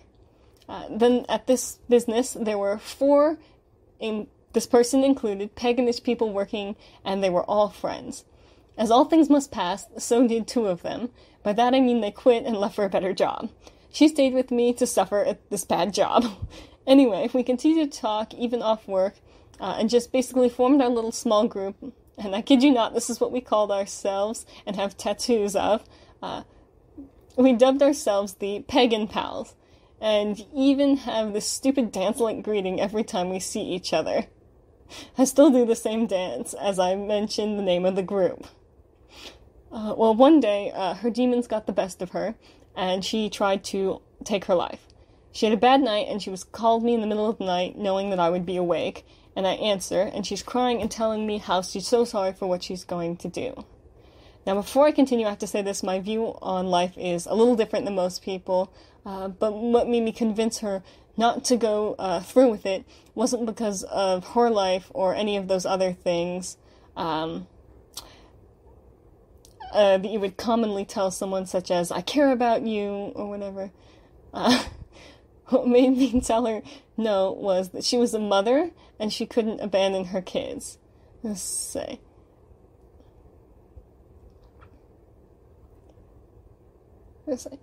I told her, you know, if you go, then there wouldn't be a pagan pals anymore. It would just be me. And that worked and saved her somehow. And it was a really clever and scary situation.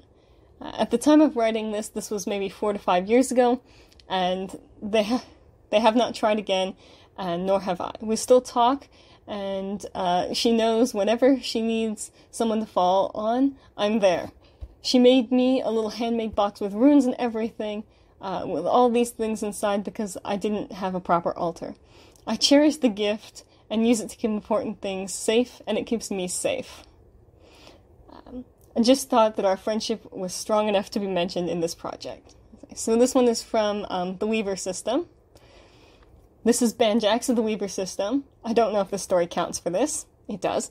It's really just some funny stuff that happened both within the Weaver system and with a witch friend of the Weaver system.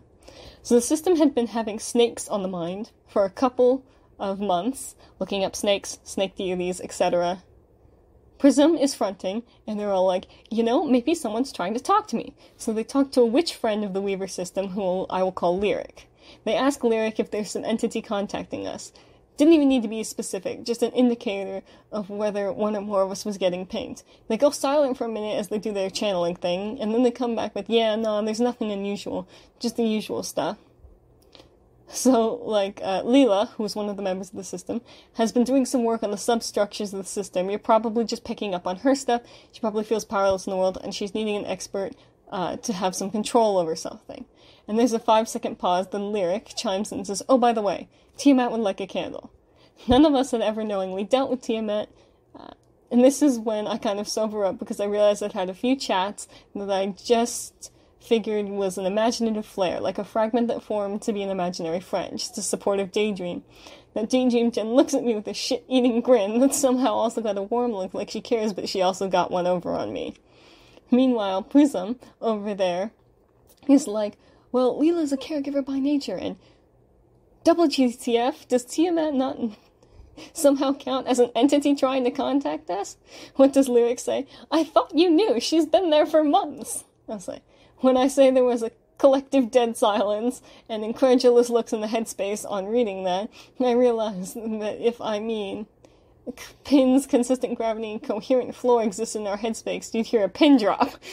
Prism then asked the second deadly question Are there any other surprises you haven't mentioned? They gave us a small list of surprises. You mean you really didn't know? They also mentioned that Tiamat seemed to be in contact with one of us, which was when I kind of had to admit my unintentional involvement. The incredulous looks fell upon me, and I kind of just shambled deeper into the darkness of the headspace. Okay, so this person gave their name in Irish, I believe it's Irish, and I'm not even gonna try because I will absolutely butcher this person's name. Uh, but uh, they told this story about um, they gave the Wiccan kid a ride to work a few times. He was kind of creepy and we didn't stay in contact. He would talk about opening portals to hell in the cemetery on Halloween at night. He got fired for faking a shoulder injury and hexed the plant manager. That manager was one of the most oppressively stupid people I've ever met, and I could never tell that he was naturally that dumb or if it was because of the hex. Other people rhetorically wondered if he was high too, so it wasn't just that I got a bad impression. Other than my short time buddy Chris, I had no other pagan friends. And so this final story will be my story. Uh, it's just a comical one. So my friend and I were in the hallway at our high school. This was a couple of years ago. So we were walking down the hallway, you know, just chatting about random stuff, mentioned paganism, chatting a little bit about paganism and pagan practices, uh, the normal stuff. And as we're doing so, uh, a dude stops us and is like, what are you talking about? You know, what, what, I heard you mention this. What does this mean? And so, you know, we're like, oh, cool, a person who's respectfully interested in something. And uh, we, you know, stop and we explain him what we're talking about, what's going on, all of this stuff. And here would be a good time to remind everyone that I live in a red state full of conservative people.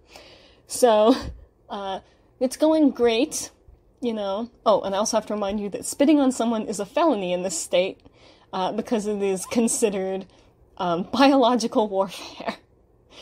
So we're having all this conversation and stuff.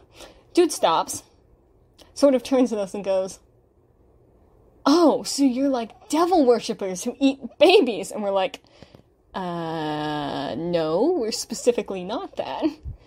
But of course, you know, then he tries to spit on us, and we all, we just sort of stepped out of the way. He didn't really have the greatest aim, and it hit the wall, and we all just sort of looked at it, and then just moved on with our lives. You know, the normal thing you do after someone commits a felony at you. it is now one of the most comical stories that we recount at many settings because it is so ridiculous that this happened. another one is uh, I tried to explain paganism one time at the same school, and uh, someone continually asked me if I thought the wooden chair was alive because it was made of wood, and I said we worship nature. Looking back, the people at my high school, I think, had brains made of rocks. like, But anyway, th- that is our complete collection of stories for today, and we will now move into the ritual portion. As I said earlier, I promise I'm working on the background and stuff. I just have not gotten totally to it yet. It takes me a lot of time to do block letters in, you know, that match in size. Anyway, so they are now going to move into the ritual part of the observance. Uh, if you want to, you can join us at home and read the words aloud, or you can just listen. You are also welcome to complete the ritual at home. Uh, I've mentioned that the background is still under construction. For now, I'll just read the words aloud. So we leave this offering for our gods to symbolize our connection and devotion. We gift this water to accept the flow of our lives. We gift this rock to symbolize the stability of the gods in the world. We welcome life and bless our offerings with oil to share our riches. We embrace our connection to each other and the world and celebrate our revival. So now we will do our closing words. Oh, before we do that, I am to tell you about we are, if you still want to submit a friendship story, uh, that will be happening. We are expanding this project uh, to archive just all sorts of stories of pagan friendship across platforms and cultures uh, so that we have this archive so that no one ever has to Google pagan friendship again and only find very gross things, as well as just to weave a fabulous tapestry of human connection with different threads and experiences. So if you're interested in that, uh, please comment below this video, uh, reach out in our Discord, you know, let me know what you're in, if you're into it, you know, let me know on Instagram if you see this or uh, in the Reddit beneath these videos, let me know and I will totally uh, reach out and help you and we will explain everything that's going on. So, so now for our closing words. As we move out into the world, let us remember our community of faith. Cherish love and open your heart as you walk through life. Hold dear the light of the gods and our connection with the natural world. Go forth in celebration and carry the light of connection within your heart. And that's all for today. Thank you, everyone. I'm now going to turn off the recording. Good evening. Good evening, and welcome to Sun Meadow Temple. We are so happy you have joined us. My name is Alba, and I use she, her pronouns. This is our third July service, and I'm so happy you're here. As always, the service is recorded and will be posted on our YouTube channel. Remember, as today's service is an odd third one this month, we will be doing something different after our readings. As the last service was age restricted, I realize some of you did not hear the announcements, so I'll repeat them today. For those of you who have already heard the announcements, feel free to skip ahead to the readings. As per usual, the background is still being worked on, and due to questions last week, I realized I didn't explain why it is taking so long. Most of the background is the decorated bookshelf, but part of it is a big sign which I am hand decorating, including measuring out letters and things which is adding some time. As for the songs committee, I will hopefully have them meet soon. I have been talking to our outside consultant, and they're still willing to work with us, but currently having other commitments.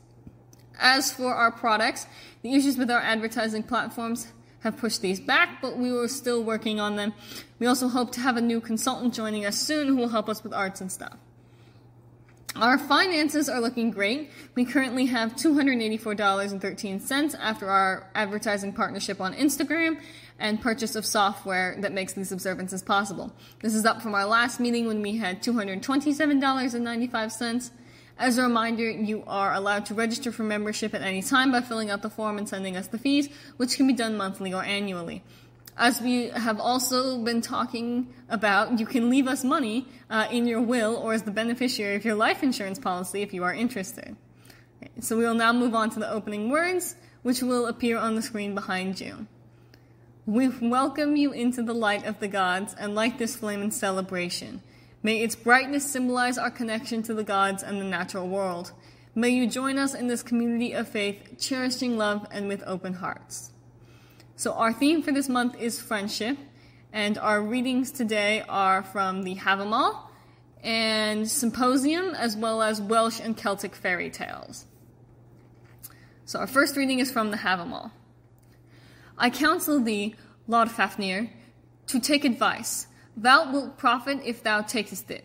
If thou knowest thou hast a friend whom thou well canst trust, go oft to visit him For with brushwood overgrown and with high grass is the way that no one treads. I counsel thee, Loddfafnir, to take advice. Thou wilt profit if thou takest it. A good man attract to thee in pleasant converse and salutary speech learn while thou livest. I counsel thee, Loddfafnir, to take advice. Thou wilt profit if thou takest it. With thy friend be thou never first to quarrel. Care gnaws the heart. If thou to no one canst thy whole mind disclose, I counsel thee, Loddfafnir, to take advice. Thou wilt profit if thou takest it. Words thou never shouldest exchange with a witless fool. And our next reading is from Symposium. They're very short today. Uh, he may pray and entreat and supplicate and swear and lie on a mat at the door and endure a slavery worse than that of any slave. In any other case, friends and enemies would equally ready to prevent him.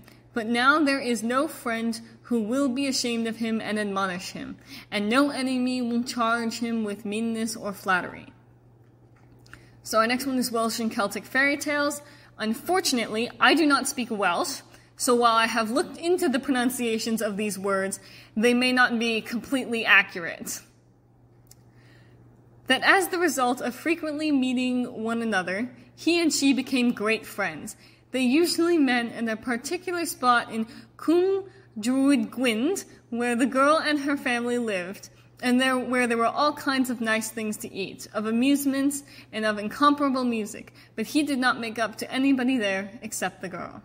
And then our second story from Welsh fairy tales. Now the head servant and the son were bosom friends. They were like brothers together, or rather twin brothers. As the son and the servant were such friends, the farmer's wife used to get exactly the same kinds of clothes prepared for the servant as for her son. The two fell in love with handsome young women of very good reputation in the neighborhood. The two couples were soon joined in honest wedlock, and great was the merrymaking on the occasion. So that ends our readings for today's, and we will be moving into our fun activity. Drum roll, please. We will be playing Cards Against Humanity Pagan style. I'll post the link uh, to the game in the chat. Keep in mind, I had some trouble finding decks that were pagan oriented, so it'll be more dominated by some paths than others, but you should be able to write your own cards as well to make up the difference.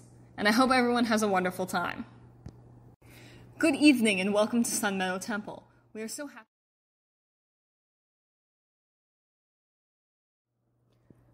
Good evening and welcome to Sun Meadow Temple. We are so happy you've joined us. My name is Alba and I use she, her pronouns. This is our first August service and I'm so happy you are here. As always, the service is recorded and will be posted on our YouTube channel. If you have not heard, all of our bylaws have undergone an update uh, to fit more what we do now rather than what we did in the past. If you have any questions, concerns about what was updated, uh, please feel free to ask me in the chat. All of our products, like the kids' resources, the monastery report, and the friendship project, are going well, and we have a lot done on many of them. As per the feedback on our surveys that went out, uh, there is still interest in email blasts and the products, which I'll still continue producing, and we'll start working with the products soon. I also feel the need to offer clarification as this has come up repeatedly. For the observances, I have never put the words on the screen behind me, as they're often simply massive blocks of text, which would make it very difficult for me uh, to run and make the slideshows. On top of this, I know why some people have been asking about what the, why the graphics changed, and the reason for that is the copyright laws that are very, very complicated and make it difficult for me to find licensed and accessible graphics for us to use. If you would like to draw or produce your own works or send them to me, I would be delighted to include them in the background of our slideshow. But for now, it will continue to be any graphics that I make and use because we don't have to pay for licensing or work through any copyright laws to use those.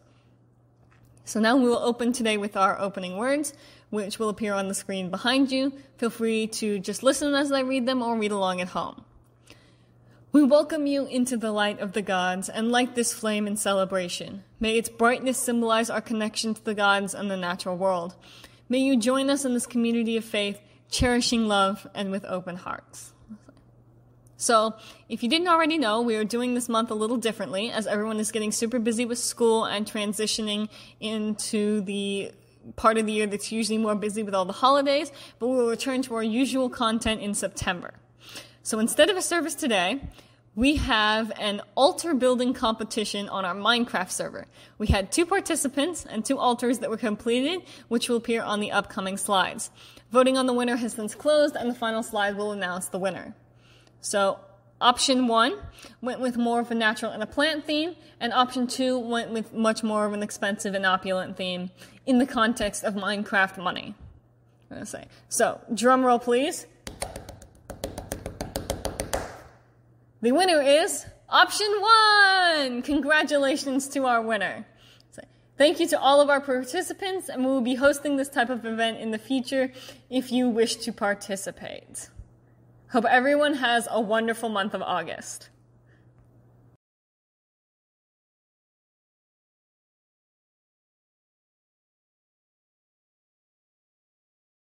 Good evening or morning, and welcome to Sun Meadow Temple. We are so happy you have joined us. My name is Alba, and I use she, her pronouns. This is our first September service, and I am so happy that you are here. As always, this service will be recorded and posted on our YouTube channel. We have many events in the upcoming months, including a few movie nights and art and cake contests, as well as our usual holiday videos.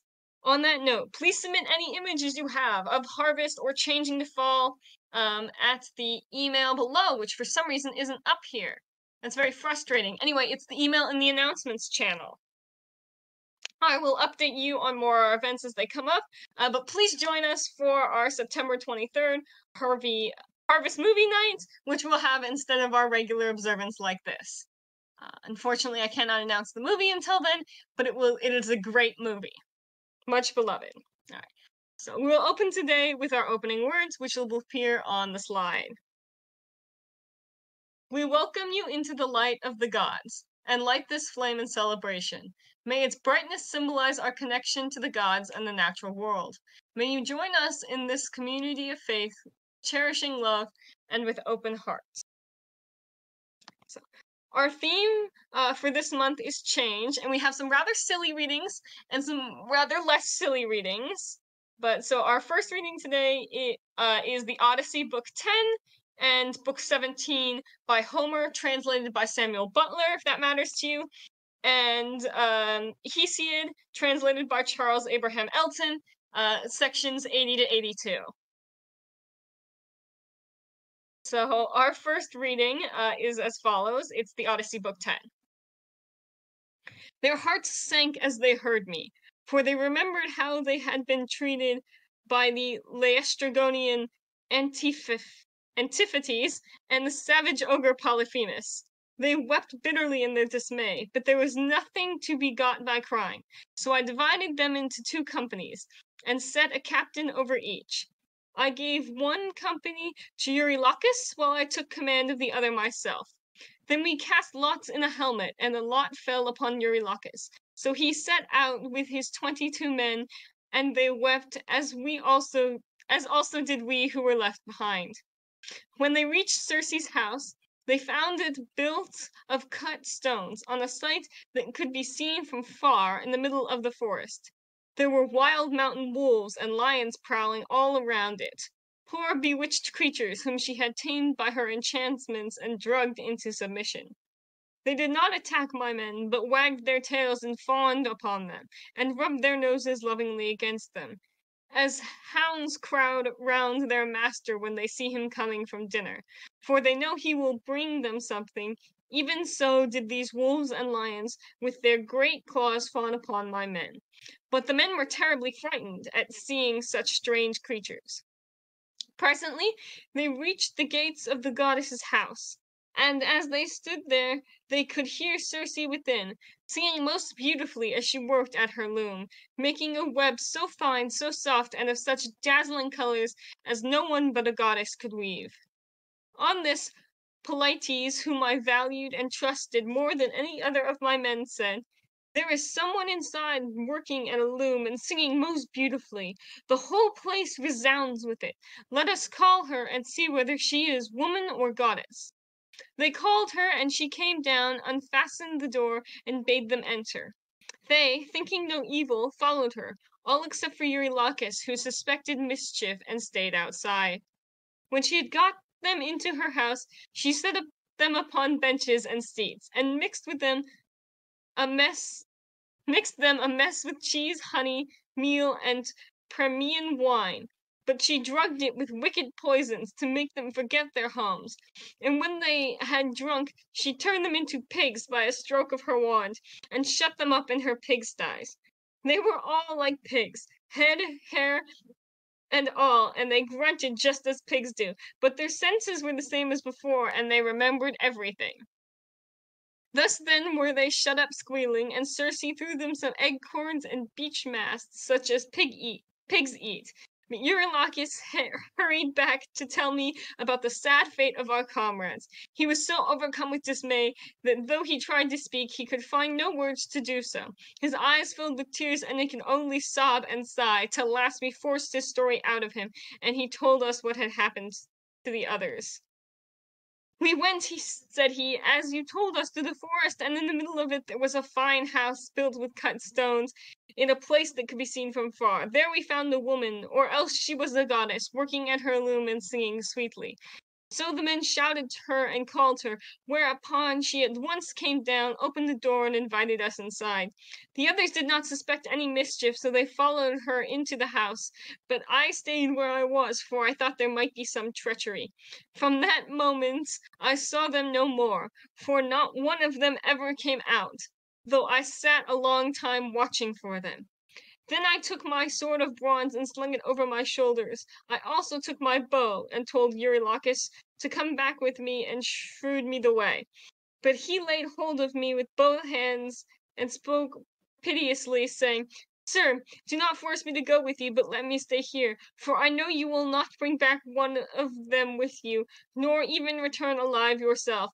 Let us rather see if we cannot escape at any rate, with the few that are left, for we may still save our lives.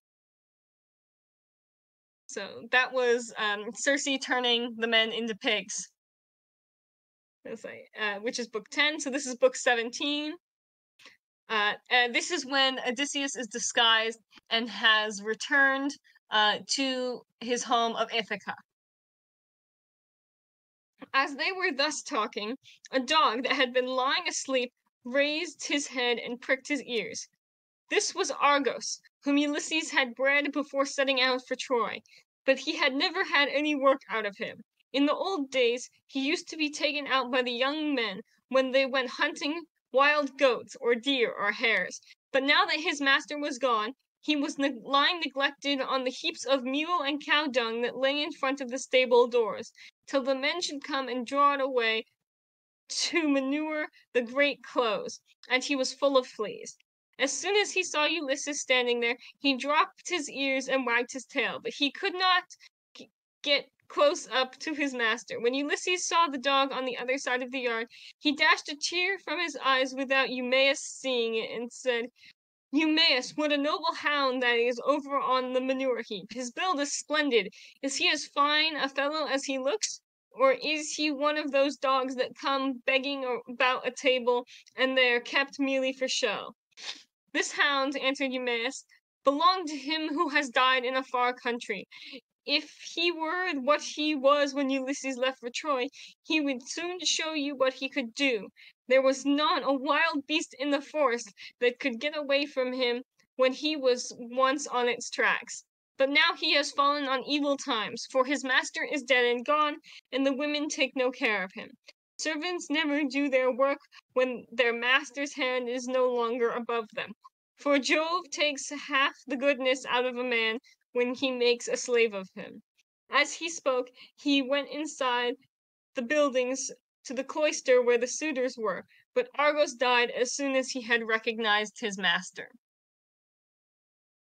So then this is our final reading, which is Hesiod, and it's 80 through 82. Few thy crops in season crown thy fields, lest thou to strangers' gates penurious rove, and every needy effort fruitless prove. Even as to me thou camest, but no hope more, that I shall give or lend thee of my store. O foolish Perses, be the labourers thine, which the good gods to earthly man assign. Lest with thy spouse, thy babes, thou vagrant ply, and sorrowing crave those alms which all deny. Twice may thy plaints Benningan favor again, and haply thrice may not be poured in vain. If still persisting plead thy weary prayer, thy words are not, thy eloquence is air. Did extortion move, the thought should be from debt releasement, days from hunger free. A house, a woman, and a steer provide, thy slave to tend the cows, but not thy bride. Within let all implements abound, lest with refused entreaty wander round. If thy wants still press, the season glide away, and thou with scanted labor mourn the day. Thy task defer not till the morn arise, or the third sun the unfinished work surprise. The idler never shall his garners fill, nor that he defers and lingers still. Though diligence can prosper toil, the loiterer strives with loss and extricates the soil. When rests of the keen strength of overpowering sun from heat that made the pores in rivers run. When rushes in fresh rains autumnal Jove, and man's unburdened limbs now lightly er move, for now the star of the day within transient light rules over our heads and joys in longer night. When from the worm the forest boils our sound, trees bud no more, but earthward cast around their withering foliage, then remember well the timely labor, and thy timber fell. So, as many of you know, as part of my education, I take a variety of classes on religion, and of course, more specifically on paganism. And while many of our readings today were on more general change, like the passing of times, or jokingly becoming pigs, it is important to consider the personal and institutional changes that paganism has made during its revival. While today paganism is a much more isolated and personal religion, it used to be a major state religion within many places. Everyone worshipped similarly, and you could find common ground easily. It was also intrinsically tied into the laws of the places where it was worshipped. Nowadays, for many of us, the situation is the opposite. It can be hard to find another pagan or a safe space to be one. It can be even harder to find a state law that pertains to us, as well as most of the laws being made today do not. These changes often lead to pagans struggling to find community uh, and making is in, and making it increasingly difficult to practice in more unsafe regions. However, this too is changing. The National Geographic recently published a very well written article on paganism, and many others have come out from similar sites uh, throughout the last couple of years. Sites like Stonehenge and others have allowed the reopening of their historical spaces for revived pagan worshippers, and businesses, as well as events, are geared geared towards us are opening more frequently. Much of this change has come from people who've had the ability to advocate and spread our ideas and teachings, as well as those with the ability to educate and work for change in the world. The work of advocating for change is not always easy. It can be dangerous and unenjoyable at times, but allows others to change as well, and hopefully we can all start to change the world for a better place. So, we will now move into the ritual part of the observance. Uh, if you want, you can join us at home and read the words aloud or just listen. You are welcome to complete a ritual at home as well at this time. Uh, as the background is still under construction, uh, I will just read the words aloud. We leave this offering for our gods to symbolize our connection and devotion. We gift this water to accept the flow of our lives. We gift this rock to symbolize the stability of the gods in our world. We welcome life and bless our offerings with oil to share our riches. We embrace our connection to each other and the world and celebrate our revival. So we will now do our closing words. As we move out into the world, let us remember our community of faith. Cherish love and open your heart as you walk through life. Hold dear the light of the gods and our connection with the natural world. Go forth in celebration and carry the light of connection within your heart. And now we will move into our coffee hour. So I'll turn off the recording and everyone can come and join us to speak.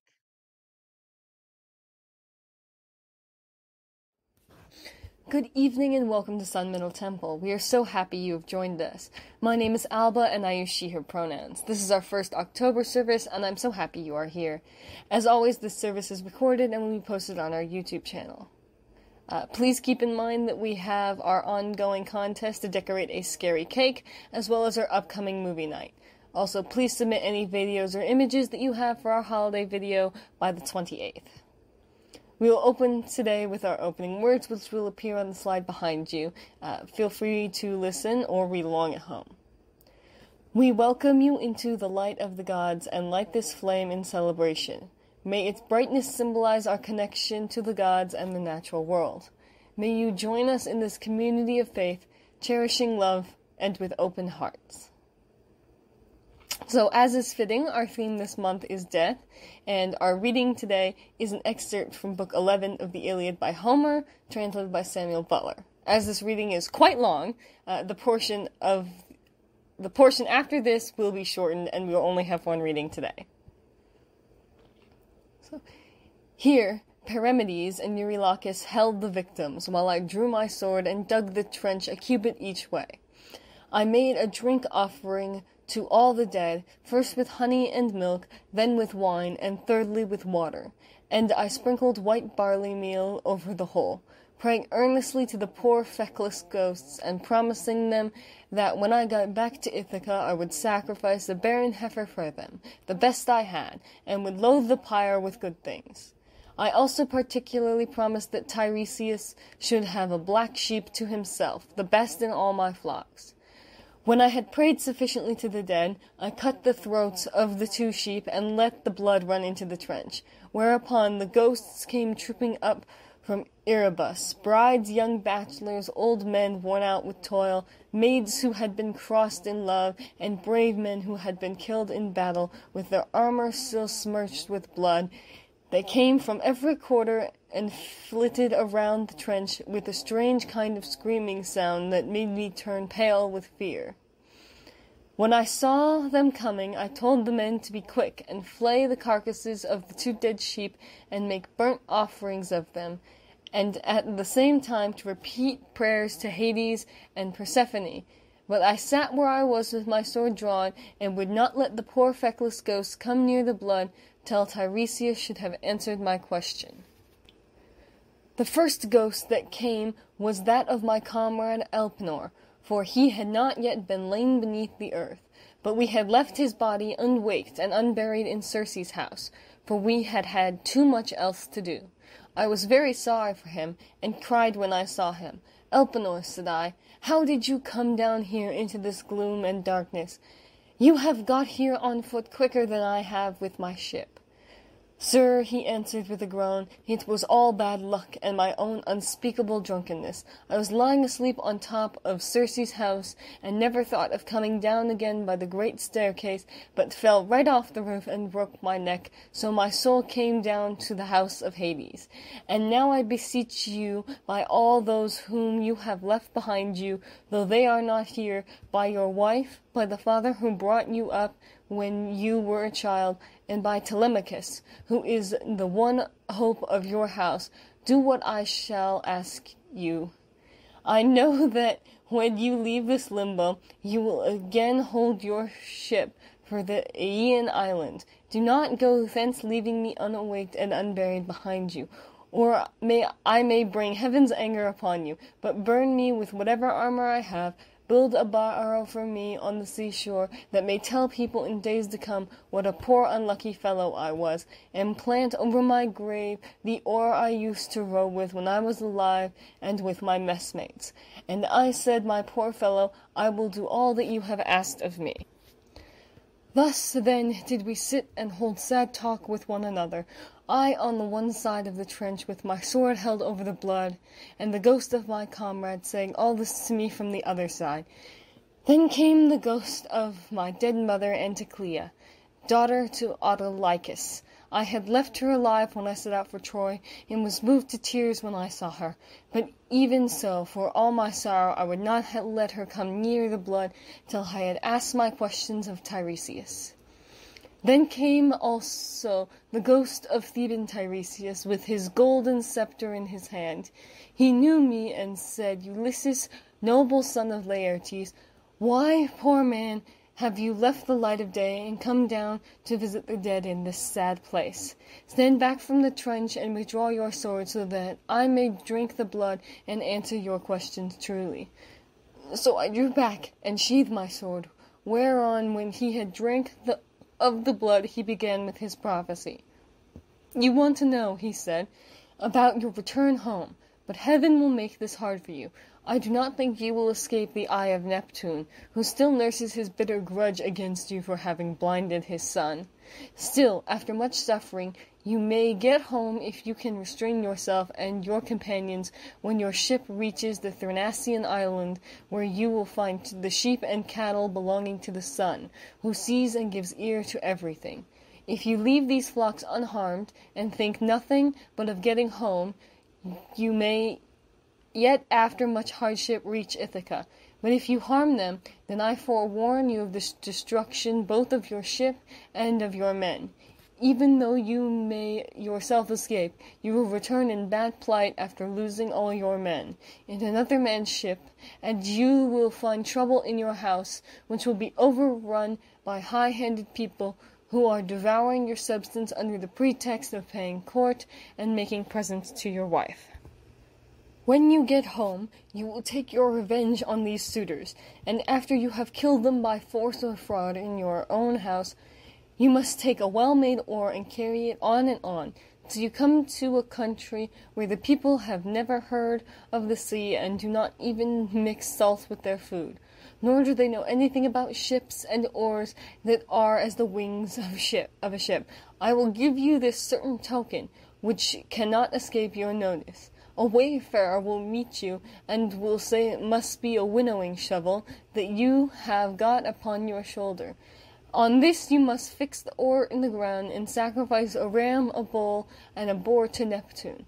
Then go home and offer hecatombs to all the gods in heaven, one after the other. As for yourself, death shall come to you from the sea, and your life shall ebb away very gently when you are full of years and peace of mind, and your people shall bless you. All that I have said will come true. This, I answered, must be as it may please heaven. But tell me, and tell me, and tell me true. I see my poor mother's ghost close to us. She is sitting by the blood without saying a word, and though I am her own son, she does not remember me and speak to me. Tell me, sir, how can I make her know me? That, he said, I can soon do. Any ghost that you let taste of the blood will talk with you like a reasonable being, but if you do not let them have any blood, they will go away again. On this, the ghost of Tiresias went back to the house of Hades, for his prophesyings had now been spoken. But I sat still where I was until my mother came up and tasted the blood. Then she knew me at once and spoke fondly to me, saying, My son, how did you come down to this abode of darkness while you are still alive? It is a hard thing for the living to see these places, for between us and them there are great and terrible waters, and there is Oceanus, which no man can cross on foot. But he must have a good ship to take him, are you all this time trying to find your way back home from Troy? And have you never yet got back to Ithaca, nor seen your wife in your own house? Mother, said I, I was forced to come here to consult the ghost of Theban prophet Tiresias. I have never been near the Achaean land, nor set foot on my native country, and I have had nothing but one long series of misfortunes from the very first day I set out with Agamemnon for Ilius, the land of noble steeds, to fight the Trojan. But tell me, and tell me true, in what way did you die? Did you have a long illness, or did heaven vouchsafe you a gentle and easy passage to eternity? Tell me also about my father, and the son whom I left behind. Is my property still in their hands, or has someone else got hold of it who thinks I shall not return to claim it? Tell me again what my wife intends doing, and in what mind she is. Does she live with my son and guard my estate securely, or has she made the best match she could and married again? My mother answered, Your wife still remains in your house, but she is in great distress of mind and spends her whole time in tears both night and day. No one as yet has got possession of your fine property, and Telemachus still holds your lands undisturbed. He has to entertain largely, as of course he must, considering his position as a magistrate, and how everyone invites him. Your father remains at his old place in the country, and never goes near the town. He has no comfortable bed nor bedding. In the winter he sleeps on the floor in front of the fire with the men, and goes about all in rags. But in summer, when the warm weather comes on again, he lies out in the vineyard on a bed of vine leaves thrown, anyhow, upon the ground. He grieves continually about your never having come home, and suffers more and more as he grows older. As for my own end, it was in this wise. Heaven did not take me swiftly and painlessly in my own house, nor was I attacked by any illness such as those that generally wear people out and kill them. But my longing to know what you were doing and the force of my affection for you, this it was that was the death of me. Then I tried to find some way of embracing my poor mother's ghost. Thrice I sprang towards her, and tried to clasp her in my arms, but each time she flitted from my embrace, as it were a dream or a phantom, and being touched by the quick, I said to her, Mother, why do you not stay still when I would embrace you? If we could throw our arms around one another, we might find sad comfort in the sharing of our sorrows, even in the house of Hades. Does Persephone want to lay a still further load of grief upon me by mocking me with a phantom only? My son, she answered, most ill-fated of all mankind. It is not Persephone that is beguiling you, but all people are like this when they are dead. The sinews no longer hold the flesh and bone together. These perish in the fierceness of consuming fire as soon as life has left the body, and the soul flits away as though it were a dream. Now, however, go back to the light of day as soon as you can, and know all these things that you may tell them to your wife hereafter. We can see how humanity has not changed over the thousands of years. People still miss their mothers and families after death, and still try to contact them continuously. We can also see much about the treatment of dead and sacrifices that we can use in our current practices, although many of us no longer have access to blood sacrifices. We can also learn how our ancestors uh, can currently connect with us. All the people who uh, came before us uh, died, and the changing of the seasons shows that death is a natural part of life and that we should show respect uh, for the cycles of life and death. We will now move into the ritual part of the observance. If you want to, you can join us at home and read the words aloud, or just listen. Uh, you are still welcome to complete uh, the ritual at home. I will be inserting a video ritual uh, in future observances. This way, it will be easy for everyone to participate in view. So, we leave this offering for our gods to symbolize our connection and devotion. We gift this water to accept the flow of our lives. We gift this rock to symbolize the stability of the gods in our world. We welcome life and bless our offerings with oil to share our riches. We embrace our connection to each other and the world and celebrate our revival. So now we will do our closing words. As we move out into the world, let us remember our community of faith. Cherish love and open your heart as you walk through life. Hold dear the light of the gods and our connection with the natural world. Go forth in celebration and carry the light of connection within your heart. Good evening and welcome to Sun Meadow Temple. Good evening and welcome to Sun Meadow Temple. We are so happy you've joined us. My name is Alba and I use she, her pronouns. This is our second October service and I'm so happy that you are here. As always, this observance is recorded and will be posted on our YouTube channel. Uh, please, everyone, remember that we have an ongoing cake decorating contest, uh, as well as an upcoming movie night. And uh, as per usual with all holidays, please submit any videos or images that you have for the holiday video. All of these are due are happening on the 28th. So you have five days. We will open today with our classic opening words, which will appear on the slide behind you. Um, please read along at home or feel free to just listen. We welcome you into the light of the gods and light this flame in celebration. May its brightness symbolize our connection to the gods and the natural world. May you join us in this community of faith, cherishing love and with open hearts. So, our theme for this month is death, and our readings today are an excerpt from Book 18 of the Iliad by Homer, translated by Samuel Butler, and Metamorphosis by Ovid, Book 10, Eurydice and Orpheus, translated by Henry T. Riley. As these recordings are quite long, the after portion of these will be shortened. So we'll begin with um, Metamorphosis, Book 10.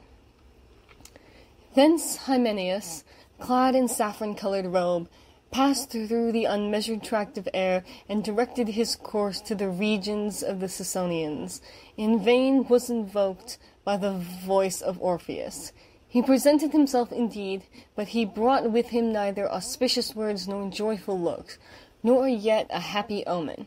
The torch, too, which he held, was hissing with a smoke that brought tears to the eyes, and as it was, it found no flames amid its waving. The issue was more disastrous than the omens, for the new made bride, while she was strolling along the grass, attended by a train of naiads, was killed, having received the sting of a serpent on her ankle. After the Rhodopeian bard had sufficiently bewailed her in the upper realms of air, that he might try the shades below as well, he dared to descend to Styx by the Taenarian gate and amid the phantom inhabitants and ghosts that had enjoyed the tomb. He went to Persephone, and him that held these unpleasing realms, the ruler of the shades, and touching his strings in concert with his words, he thus said, O ye deities of the world that lies beneath the earth, to which we all come at last, each that is born to mortality, if I may be allowed, and you suffer me to speak the truth, laying aside the artful expressions of a deceitful tongue, I have not descended hither from curiosity to see dark Tartarus, nor to bind the threefold throat of the Medusian monster, bristling with serpents, but my wife was the cause of my coming, into whom a serpent trodden upon by her diffused its poison and cut short her growing years. I was wishful to be able to endure this, and I will not deny that I have endeavored to do so. Love has proved stronger. That God is well known within the regions above. Whether he be so here too, I am uncertain. But yet I imagine that even here he is, and if it was the story of the rape of former days is not untrue, 'twas love that united you two together. By these places filled with horrors, by this vast chaos, and by the silence of these boundless realms, I entreat you, weave over again the quick spun thread of the life of Eurydice. To you we all belong, and having stayed but a little while above, Sooner or later we all hasten to one abode. Hither are we all hastening. This is our last home, and you possess the most lasting dominion over the human race. She too, when in due season she shall have completed her allotted number of years, will be under your sway. The enjoyment of her I beg as a favor. But if the fates deny me this privilege in behalf of my wife, I have determined I will not return. Triumph in the death of us both. As he said such things, he touched the strings to his words. The bloodless spirits wept. Tantalus did not catch at the retreating water, and the wheel of Lycaon stood still as though in amazement. The birds did not tear the liver of Tityus, and the granddaughters of Belus paused at their urns. Thou, too, Sisyphus, didst, didst seat thyself on thy stone.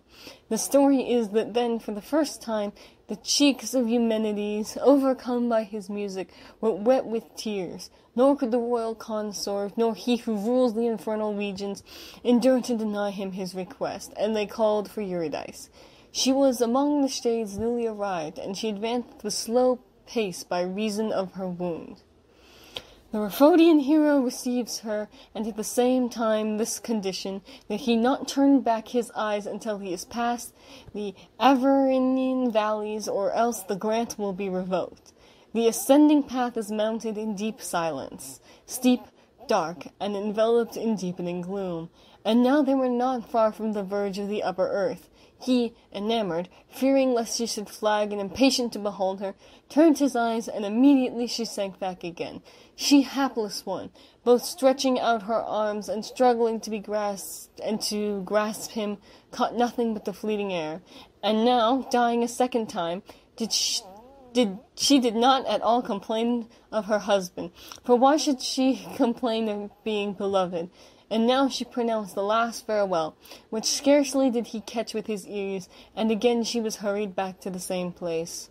No otherwise was Orpheus amazed at this twofold death of his wife, than he who trembled beheld the three necks of the dog, the middle one supporting chains, whom fear did not forsake before his former nature deserted him, as stone gathered over his body, and then Olenus took him who took himself the crime of another, and was willing to appear guilty, and then thou, unhappy Lethaea, confiding in thy beauty, breasts once most united, now rocks which the watery Ida supports. The ferryman drove him away, entreating and in vain, desiring again to cross the stream. Still for seven days, in squalid guise, did he sit on the banks without the gifts of Ceres. Vexation and sorrow of mind and tears were his sustenance. Complaining that the deities of Erebus were cruel, he betook himself to lofty Rhodope and Haemus, buffeted by the north winds. The third Titan had now ended the year bounded by the fishes of the ocean, and Orpheus had avoided all intercourse with women, either because it had ended in misfortune to him, or because he had given promise to that effect. Yet passion possessed many a female to unite herself to the bard, and many a one grieved when repulsed. He was also the first adviser of the people of Thrace to transfer their affections to tender ewes, and on this side of manhood to enjoy the short spring of life and its early flowers.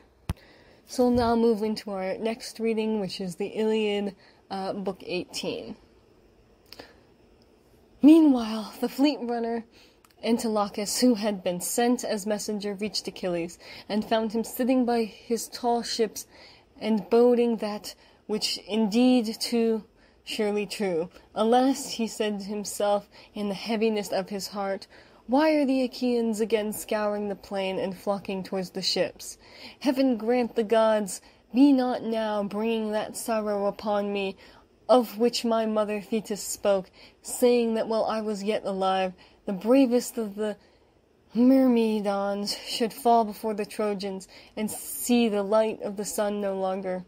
I feel the brave son of Menoetus has fallen through his own daring, and yet I bade him return to the ships as soon as he had driven back those that were bringing fire against him, and not join battle with Hector. As he was thus pondering, the son of Nestor came up to him and told him his sad tale, weeping bitterly the while. Alas, he cried, the son of noble Peleus, I bring you bad tidings. Would indeed that they were untrue. Patroclus has fallen, and a fight is raging around his naked body, for Hector holds his armor. A dark cloud of grief fell upon Achilles as he listened. He filled both his hands with dust off the ground and poured it over his head, disfiguring his comely face, and letting the refuse settle over his shirt so fair and new. He flung himself down all huge and hugely at full length, and tore his hair with the strands. The bondswoman whom Achilles and Patroclus had taken captive screamed aloud for their grief, beating their breasts, and with their limbs failing them for sorrow. Antilochus bent over him uh, the while, weeping and holding both his hands as he lay groaning, for he feared he might plunge a knife into his own throat. Then Achilles gave a loud cry, and his mother heard him as she was sitting in the depths of the sea by the old man her father, whereon she screamed, and all the goddesses daughters of Nereus that dwelt at the bottom of the sea came gathering round her. There was Glaucia, Thalia, Cymodoce, Nesea, Spo, Pho, and dark-eyed Halle, Cymothoe, Actaea, Limnorea, Melite, Iaera, Dexamene, Amphinomene, Callianeira, Doris, Panope, and the famous scene of Galatea, Nemertes, Apseudes, and Callianassa. There was also Clymene, Ianeira, Anasia, Maera, Oreithuia, and Amatheia of the lovely locks, with the other Nereids who dwell in the depths of the sea. The crystal cave was filled with their multitude, and they all beat their breasts while Thetis led them in their lament. Listen, she cried, sisters and daughters of Nereus, that you may hear the burden of my sorrows. Alas, woe is me! Woe in that I have borne the most glorious offspring. I bore him fair and strong, hero among heroes, and he shot up as a sapling. I tended him as a plant in a goodly garden, and sent him with his ships to Ilus to fight the Trojans. But never shall I welcome him back into the house of Peleus, so long as he lives to look upon the light of the sun. He is in heaviness, and though I may go to him, I cannot help him. Nevertheless, I will go, that I may see my dear son and learn what sorrow has befallen him, though he is still holding aloof from battle. She left the cave as she spoke, while the others followed weeping after, and the waves opened a path before them. When they reached the rich plain of Troy, they came up out of the sea in a long line onto the sands, at the place where the ships of the Myrmidons were drawn up in close order around the tents of Achilles. His mother went up to him as he lay groaning. She laid upon her hand upon his head and spoke piteously, saying, My son, why are you thus weeping? What sorrow has now befallen you? Tell me, hide it not from me. Surely Jove has granted you the prayer you made him, and when you lifted up your hands and besought him that the Achaeans might all of them be pent up at their ships and rued bitterly, that you were no longer with them. Achilles groaned and answered, Mother, Olympian Jove has indeed vouchsafed me with the fulfillment of my prayer, but what boots it to me seeing that my dear comrade Patroclus has fallen, he whom I valued more than all the others, and loved as dearly as my own life. I have lost him, I, and Hector, when he killed him, stripped the wondrous armor, so glorious to behold, which the gods gave to Peleus when they laid you in the couch of a mortal man. Would that you were still dwelling among the immortal sea nymphs, and that Peleus had taken himself some mortal bride. For now you shall have grief infinite by reason of the death of that son, whom you can never welcome home. Nay, I will not live nor go about mankind, unless Hector falls by my spear, and thus pay me for having slain Patroclus, son of Menoetus. Thetis wept and answered, Then, my son, is your end near at hand, for your own death awaits you full soon after that of Hector. Then said Achilles, in his great grief, I would die here and now, and that I could not save my comrade. He has fallen far from home, and in his hour of need my hand was not there to help him. What is there for me? Return to my own land I shall not, and I have brought no saving to neither to Patroclus nor to my other comrades, of whom so many have been slain by mighty Hector. I stay here by my ships, a bootless burden upon the earth. I, who in fight have no peer among the Achaeans, though in council there are better than I.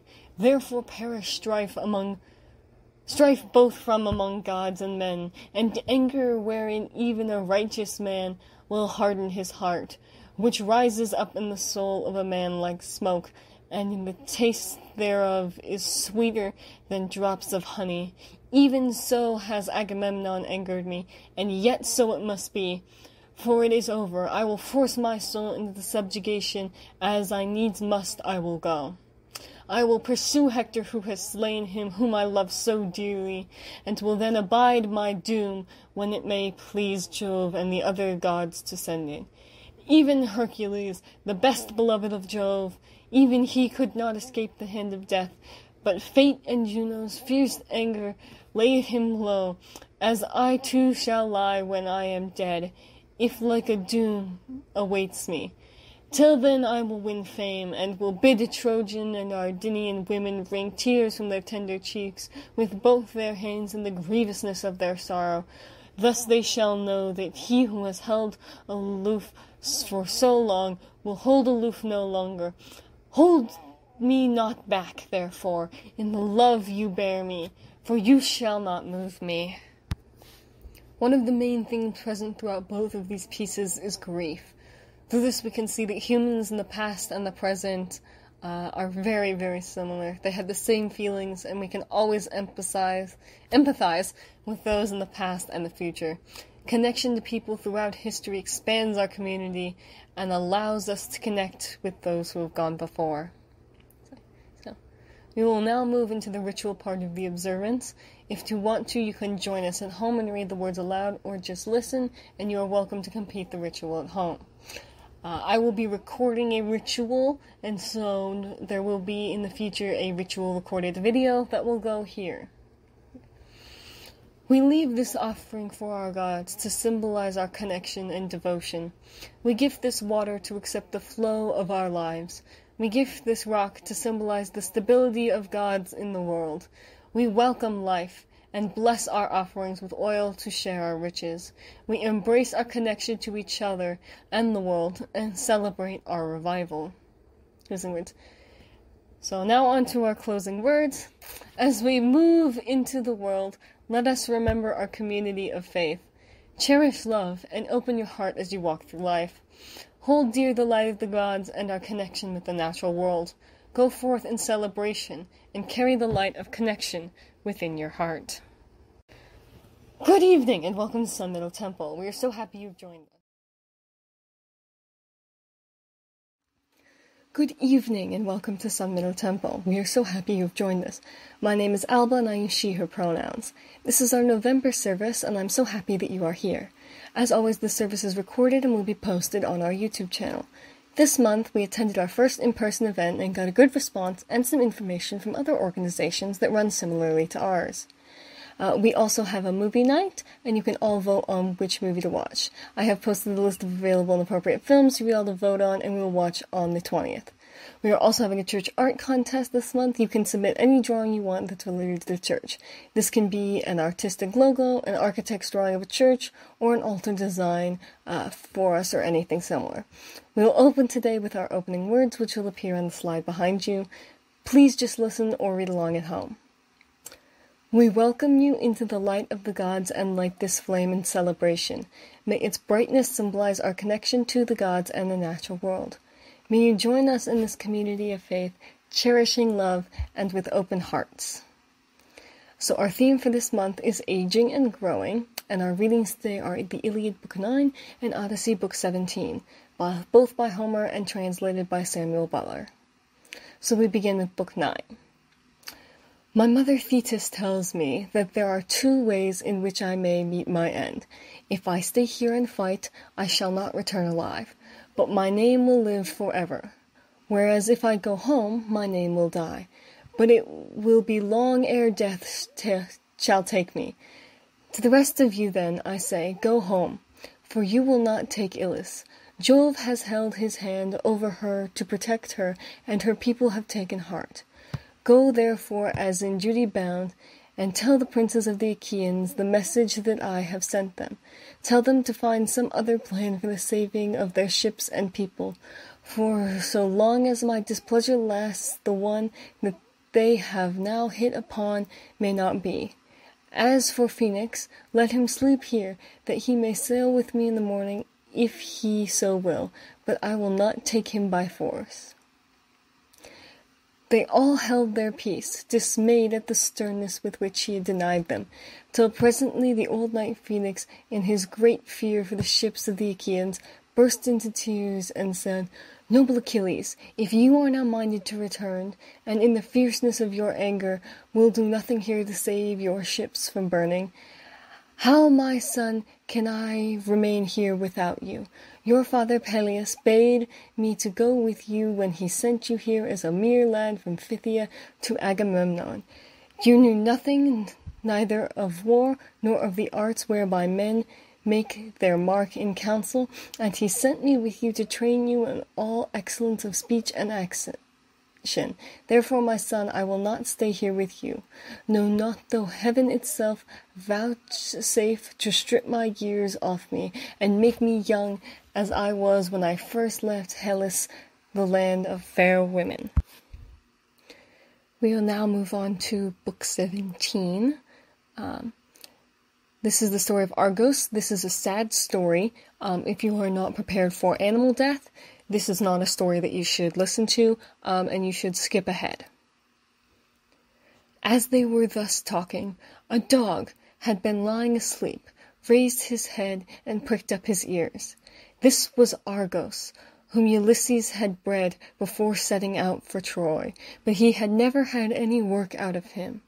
In the old days he used to be taken out by the young men when they went hunting wild goats or deer or hares, but now that his master was gone, he was lying neglected on the heaps of mule and cow dung that lay in front of the stable doors till the men should come home and draw it away to manure the great clothes.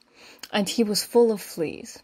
As soon as he saw Ulysses standing there, he dropped his ears and wagged his tail, but he could not get close to his master. When Ulysses saw the dog on the other side of the yard, he dashed a tear from his eyes without Eumaeus seeing it, and said, Eumaeus, what a noble hound that is over yonder on the manure heap. His build is splendid. Is he as fine a fellow as he looks? Or is he only one of those dogs that come begging about a table and are kept merely for show? This hound, answered Eumaeus, belonged to him who has died in a far country. If he were what he was when Ulysses left for Troy, he would soon show you what he could do. There was not a wild beast in the forest that could get away from him when he was once on its tracks, but now he has fallen on evil times, for his master is dead and gone, and the women take no care of him. Servants never do their work when their master's hand is no longer over them, for Jove takes half the goodness out of a man when he makes a slave of him. As he spoke, he went inside the buildings to the cloister where the suitors were, but Argos died as soon as he had recognized his master. Paganism is a religion that attracts a wide audience and age group. Many traditions are many other traditions are struggling to maintain their populations for a variety of reasons, but paganism is still growing throughout the world. Our ability to change and be manageable for all people is what makes us appealing to the masses. We can operate both as a counterculture movement that supports those who have been neglected and exiled from the public sphere, and provide a safe home for all kinds of people who are looking for spirituality. As we grow and we evolve into even more paths, some are more traditional than others, we can be loyal to where we came from, while also realizing that things are not the same and will need to change. Listening and learning from the past and using it to build our future is a deeply important part of paganism. So, as you are all likely aware, this is the month that Sun Meadow Temple originally began, and we have changed a lot since our beginning. Our holiday videos and observances have begun in this past year, and our other celebrations continued. In the future, we hope to include real streamed rituals for holidays and events. Um, well, this year we were able, able to attend our first event, and it went very well. We hope to grow and provide access for even more types of things. For the next year, I have some very exciting events planned, so everyone get really, really um, jazzed for some of those. So there will, of course, probably be some growing pains, you know, then we'll have to adjust, but we can always be like Argos, celebrating the return of the past while still having lived and making sure we stay in our, you know, modern lives. So now we'll now move into the ritual part of the observance. If you want to, you can join us at home and read the words aloud, or you are welcome to complete a ritual at home. Uh, for this time, everything is still sort of under construction, and so I will just read the words aloud. Oh, And don't forget, if you have not already um, looked at our um, dis- end of year survey, please fill that out. And say it has some questions about this and about our ritual and what you guys would like uh, for it to be. So now I will read the ritual words. We leave this offering for our gods to symbolize our connection and devotion. So we gift this water to accept the flow of our lives. We give this rock to symbolize the stability of gods in the world. We welcome life and bless our offerings with oil to share our riches. We embrace our connection to each other and the world and celebrate our revival. So as we'll now do our closing words, which will also appear on the slide behind you, and you can feel free to say them or not say them. So as we move out into the world, let us remember our community of faith. Cherish love and open your heart as you walk through life. Hold dear the light of the gods and our connection with the natural world. Go forth in celebration and carry the light of connection within your heart.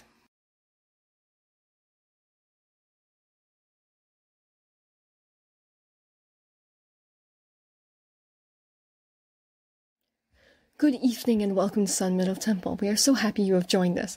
My name is Alba and I use she, her pronouns. This is our first December service and I'm so happy that you are here. As always, the service is recorded and will be posted on our YouTube channel.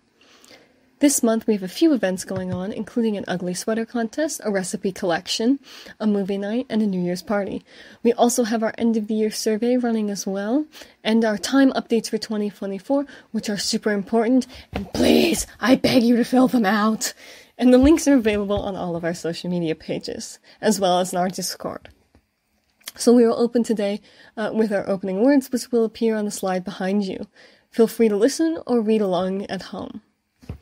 We welcome you into the light of the gods and light this flame in celebration.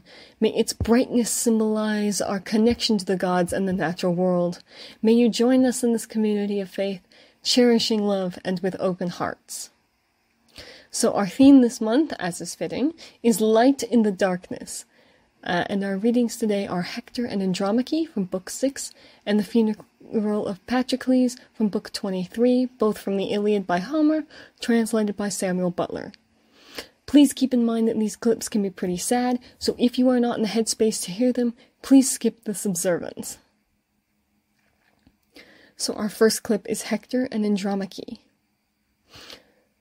When he had gone through the city and reached the Scaean gates through which he would go out onto the plain, his wife came running towards him, Andromache, daughter of the great Eetion, who ruled Thebes under the wooded slopes of Mount Placus, and was king of the Cilicians. His daughter had married Hector, and now came to meet him with a nurse who carried his little child in her bosom, a mere babe, Hector's darling son, and lovely as a star. Hector had named him Scamandrius, but the people called him Astyanax, for his father stood alone as chief guardian of Ilius. Hector smiled as he looked upon the boy, but he did not speak, and Andromache stood by him weeping, taking his hand in her own. Dear husband, said she, your valor will bring you destruction. Think on your infant son, and on my hapless self, who ere long shall be your widow for the Achaeans will set upon you in a body and kill you. It would be better for me, should I lose you, to lie dead and buried, for I shall have nothing left to comfort me when you are gone, save only sorrow. I have neither father nor mother now. Achilles slew my father when he sacked Thebes, the goodly city of the Cilicians. He slew him, but did not for very shame despoil him, when he had burned him in his wondrous armor, he raised a barrow over his ashes, and the mountain nymphs, daughters of aegis bearing Jove, planted a grove of elms about his tomb. I had seven brothers in my father's house, but on the same day they all went within the house of Hades. Achilles killed them, as they were with their sheep and cattle. My mother, who had been queen of all the land under Mount Placus, he brought hither with the spoil, and freed her for a great sum. But the archer queen Diana took her in the house of your father. Nay, Hector, you who to me are father, mother, brother, and dear husband, have mercy upon me.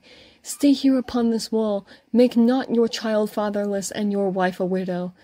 As for the host, place them near the fig tree, where the city can best be scaled, and the wall is weakest.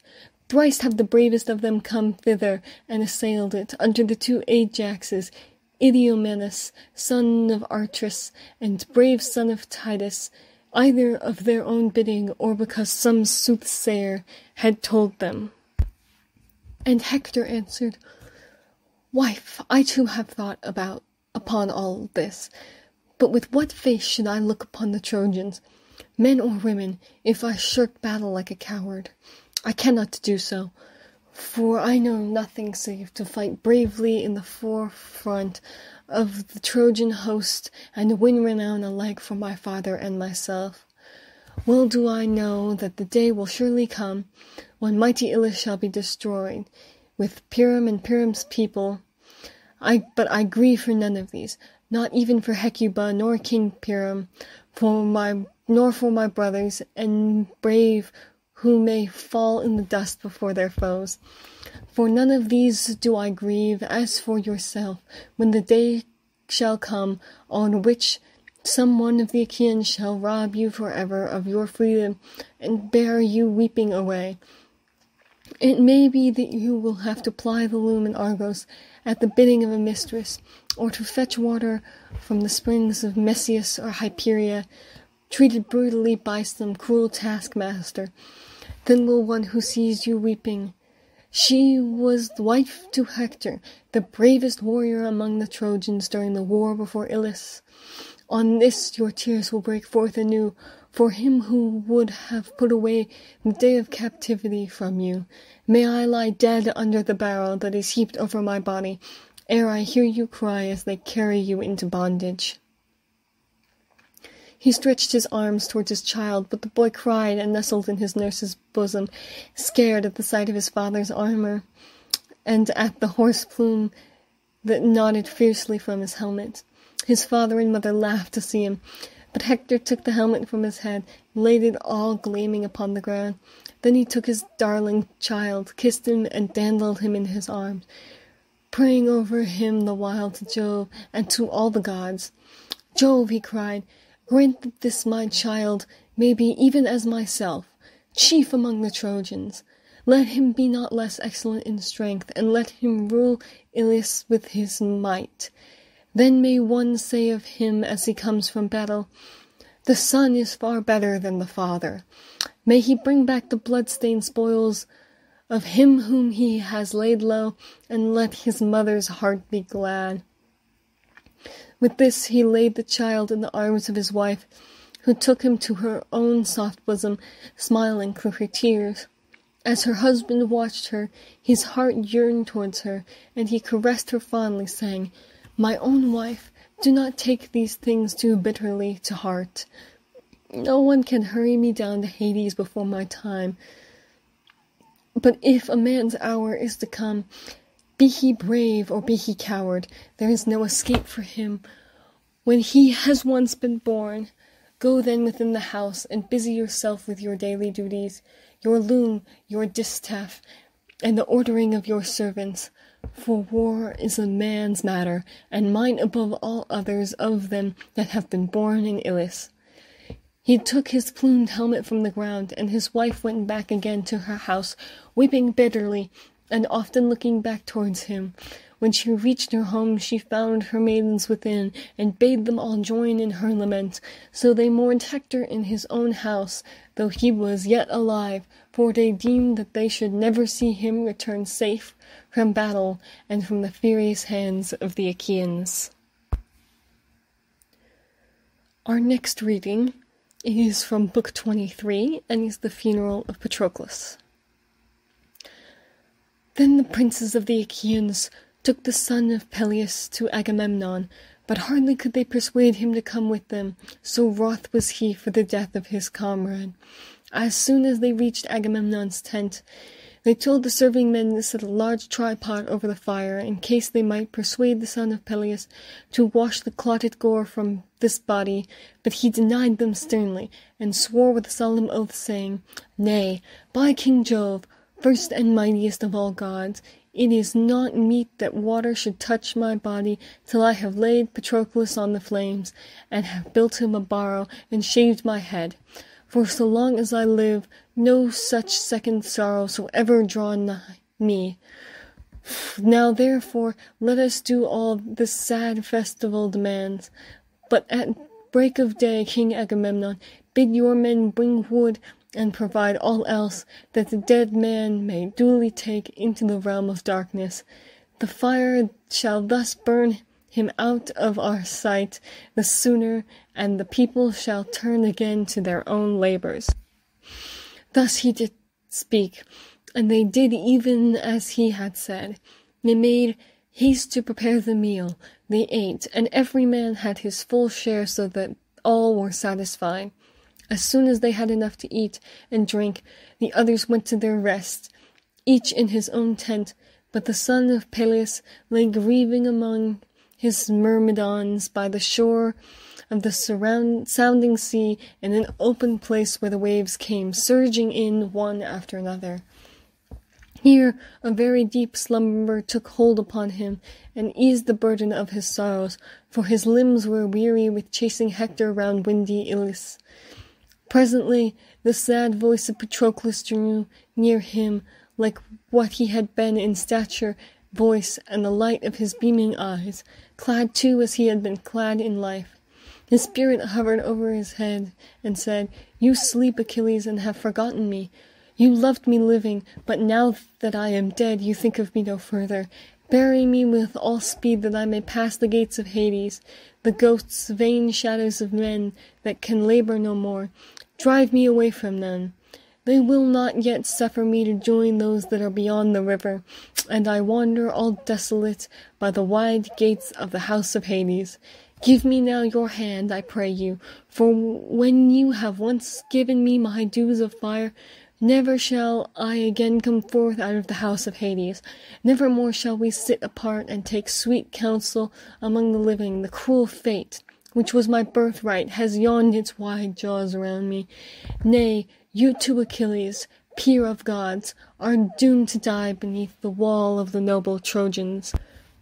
One prayer more I will make you, if you will grant it.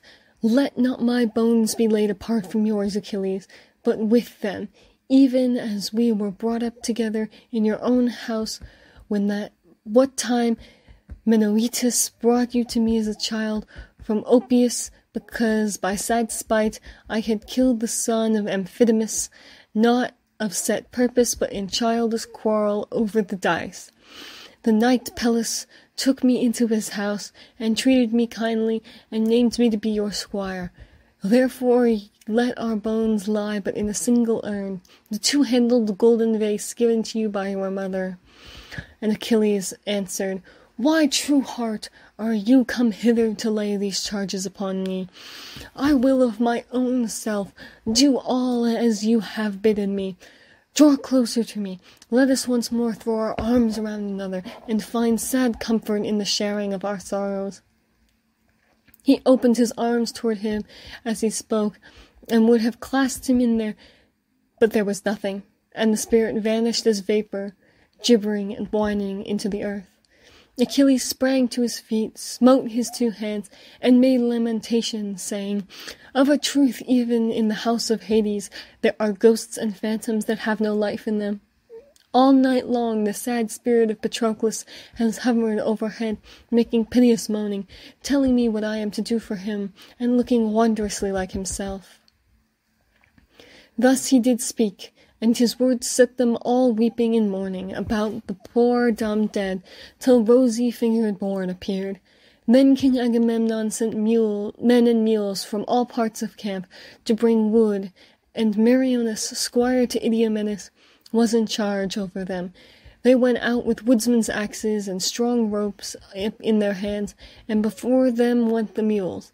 Up hill and down dale did they go, by straight ways and crooked, and when they reached the heights of many fountained Ida, they laid their axes to the roots of many a tall branching oak that came thundering down as they felled it. They split the trees and bound them behind the mules, which then wended their way as they best could through the thick brushwood onto the plain. All who had been cutting wood bore logs for the Meriones squire to Idomeneus had bid them. And they threw them down in a line upon the seashore at the place where Achilles would make a monument for Patroclus and for himself.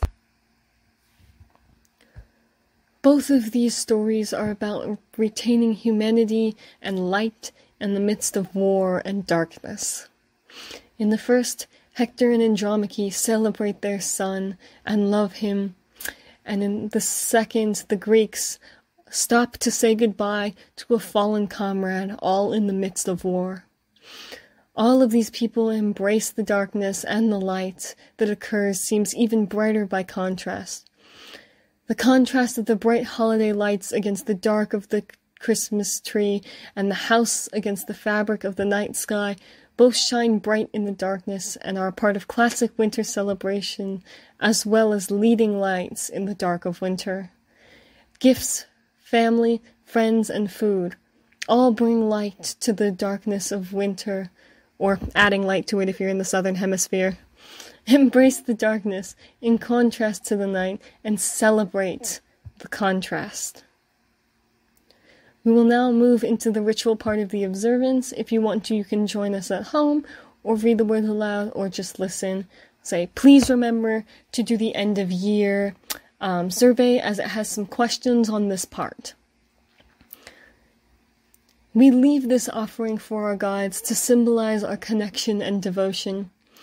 We gift this water to accept the flow of our lives. We gift this rock to symbolize the stability of gods in the world. We welcome life and bless our offerings with oil to share our riches.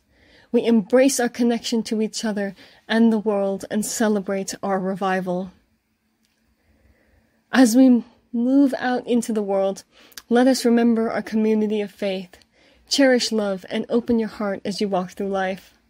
Hold dear the light of the gods and our connection with the natural world. Go forth in celebration and carry the light of connection within your heart. Good evening and welcome to Sun Meadow Temple. Good evening and welcome to Sun Meadow Temple. We are so happy you've joined us. My name is Alba and I use she, her pronouns. This is our second December service and I'm so happy you are here. As always, the service is recorded and will be posted on our YouTube channel. This month we have a few events going on, including an ugly sweater art contest, a recipe collection, movie night, and a New Year's party.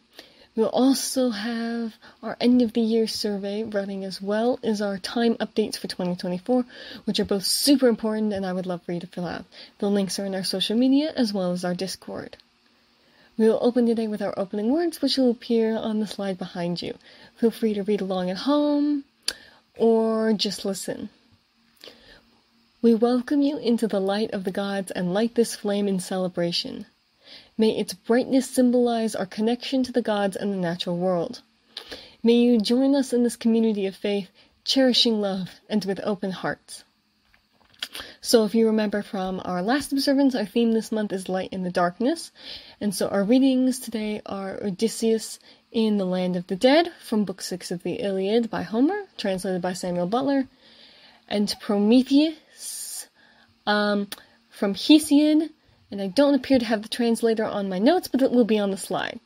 So please keep in mind this first story um, is a little bit sad, so if you're not in the headspace for this one, please skip to the story of Prometheus.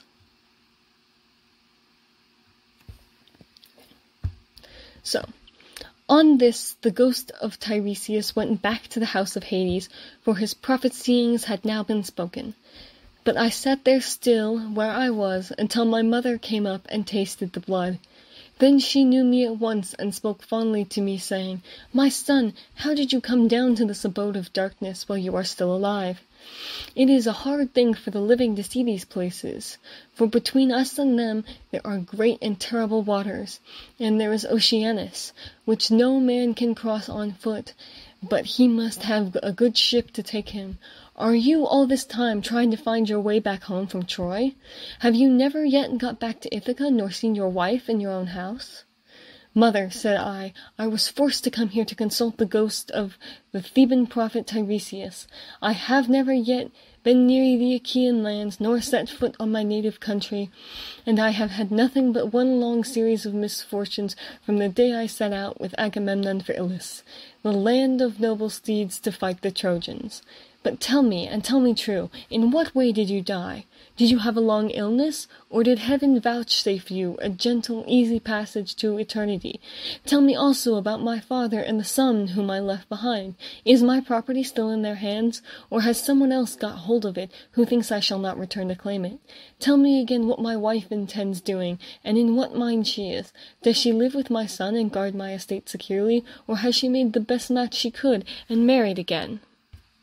My mother answered, Your wife still remains in your house, but she is in great distress of mind and spends her whole time in tears both night and day. No one as yet has got possession of your fine property, and Telemachus still holds your lands undisturbed. He has to entirely entertain largely, as of course he must, considering his position as the magistrate, and how everyone invites him. Your father remains at his old place in the country, and never goes near the town. He has no comfortable bed nor bedding. In the winter he sleeps on the floor in front of the fire with the men and goes about all in rags. But in summer, when the warm weather comes on again, he lies out in a vineyard on a bed of vine leaves thrown anyhow upon the ground. He grieves continually about your never having come home, and suffers more and more as he grows older. As for my own end, it was in this wise. Heaven did not take me swiftly and painlessly in my own house, nor was I attacked by any illness such as those that generally wear people out and kill them, but my longing to know what you were doing and the force of my affection for you. This it was that was the death of me. Then I tried to find some way of embracing my poor mother's ghost. Thrice I sprang towards her and tried to clasp her in my arms, but each time she flitted from my embrace, as it were a dream or phantom, and being touched the quick I said to her, Mother, why do you not stay still when I would embrace you? If we could throw our arms around each other, we might find sad comfort in the sharing of our sorrows, even in the house of Hades. Does Persephone want to lay on still a further load of grief upon me by mocking me with a phantom only? My son, she answered, most ill-fated of all mankind, it is not Persephone that is beguiling you, but all people here are like this when they are dead. The sinews no longer hold the flesh and bones together. These perish in the fierceness of consuming fire as soon as life has left the body, and the soul flits away as though it were a dream. Now, however, go back to the light of day as soon as you can, and note all these things that you may tell them to your wife hereafter. Thus we did converse, and anon Persephone sent up the ghosts of the wives and daughters of all the most famous men. They gathered in crowds about the blood, and I considered how I might question them severally. In the end, I deemed it would be best to draw the keen blade that hung on my sturdy side, and keep them from drinking the blood at once. So they came one after the other, and each one, as I questioned, told me about her race and lineage. So then our next story is um, Prometheus, and this translation's a little hard to understand, so I might go over it afterwards just so you understand what happens. For when the gods and mortal men had a dispute at Mecone, even then Prometheus was forward, to cut up a great ox and set portions before them, trying to befool the mind of Zeus. Before the rest, he set flesh and inner parts thick with fat upon the hide, covering them with ox an ox paunch. But for Zeus he put up the white bones, dressed up with cunning art and covered with shining fat. Then the father of men and gods said to him, Son of Iapetus, most glorious of all lords, good sir, how unfairly you have divided the portions. So said Zeus, whose wisdom is everlasting, rebuking him. But wily Prometheus answered him, smiling softly, and not forgetting his cunning trick. Zeus, most glorious and greatest of the eternal gods, take whichever of these portions your heart within you bids. So he said, thinking trickery. But Zeus's wisdom is everlasting, saw and failed not to perceive the trick. And in his heart he thought mischief against mortal men, which also was to be fulfilled. With both hands he took up the white fat and was angry at heart, and wrath came to his spirit when he saw the white ox bones craftily tricked out. And Because of this, tribes of men upon the earth burn white ox bones to the deathless gods upon fragrant altars. But Zeus, who drives the clouds, was greatly vexed and said to him, Son of Iapetus, clever above all, so, sir, you have not yet forgotten your cunning art. So spake Zeus in anger, whose wisdom is everlasting. And from that time he was always mindful of the trick, and would not give power to of unwearying fire to the Melian race of mortal men who live upon the earth. But the noble son of Iapetus outwitted him, and stole the far-seeing gleam of unwearying fire in the hollow st- fennel stalk, and Zeus who thunders on high was stung in spirit, and his dear heart was angered when he saw amongst men the far-seeing ray of fire. So that is the story of how sacrifice occurs, and um, Zeus is tricked to pick a sacrifice of bones and not good parts of the animal. Uh, when instead of picking the meat, because the meat is disguised as looking like the organs of the animal, and so then, of course, man is punished by taking away fire, and then Prometheus says, goes and steals the fire back, which then ends up with uh, Pandora afterwards, and that's how this wild story ends. Uh, but that's what happened in that last clip there. Okay. So in both of these stories, the characters suffer without having light in the dark times. In the case of Prometheus, it is very literal. There is no fire, and therefore there is rampant disease and starvation because they cannot make and cook food. And although there is no physical light when Odysseus talks to his mom, there is the light of seeing family and learning what has happened while he has been away in darkness, the war, for over a decade. So, many of you know my personal negative feelings toward Odysseus, but I will give it to him that he loves and cares about his family and their safety. The winter holidays are a time to gather things that bring light to you in the cold darkness and to share your light as Prometheus does and as Odysseus does by letting his mother know he's alive.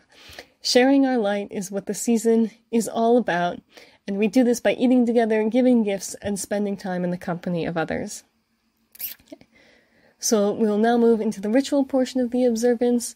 Um, again, please, please, if you have not already, go fill out the end of the year survey. It has um, lots of information about this in there and a vote. Um, then for now, I will read the words, but this is going to change up in the new year. I've got a whole wonderful plan, so it'll be great. So we leave this offering for our gods to symbolize our connection and devotion. We gift this water to accept the flow of our lives. We gift this rock to symbolize the stability of gods in the world. We welcome life and bless our offerings with oil to share our riches. We embrace our connection to each other and the world and celebrate our revival. So we'll now do our closing words. I know this was a bit of a shorter observance, uh, but I really wanted to read you Prometheus' story, and it's a short one. Um, and also just, you know, have a general fun time. Uh, please remember, uh, we have a lot of new exciting events in the new year, including uh, some contests, and we have a New Year's party coming up, as well as our movie night. So I hope everyone really looks forward to all of those things and comes to participate with us. So, as we move out into the world, let us remember our community of faith. Cherish love and open your heart as you walk through life. Hold dear the light of the gods and our connection with the natural world. Go forth in celebration and carry the light of connection within your heart. Good evening and welcome to Sun Meadow Temple.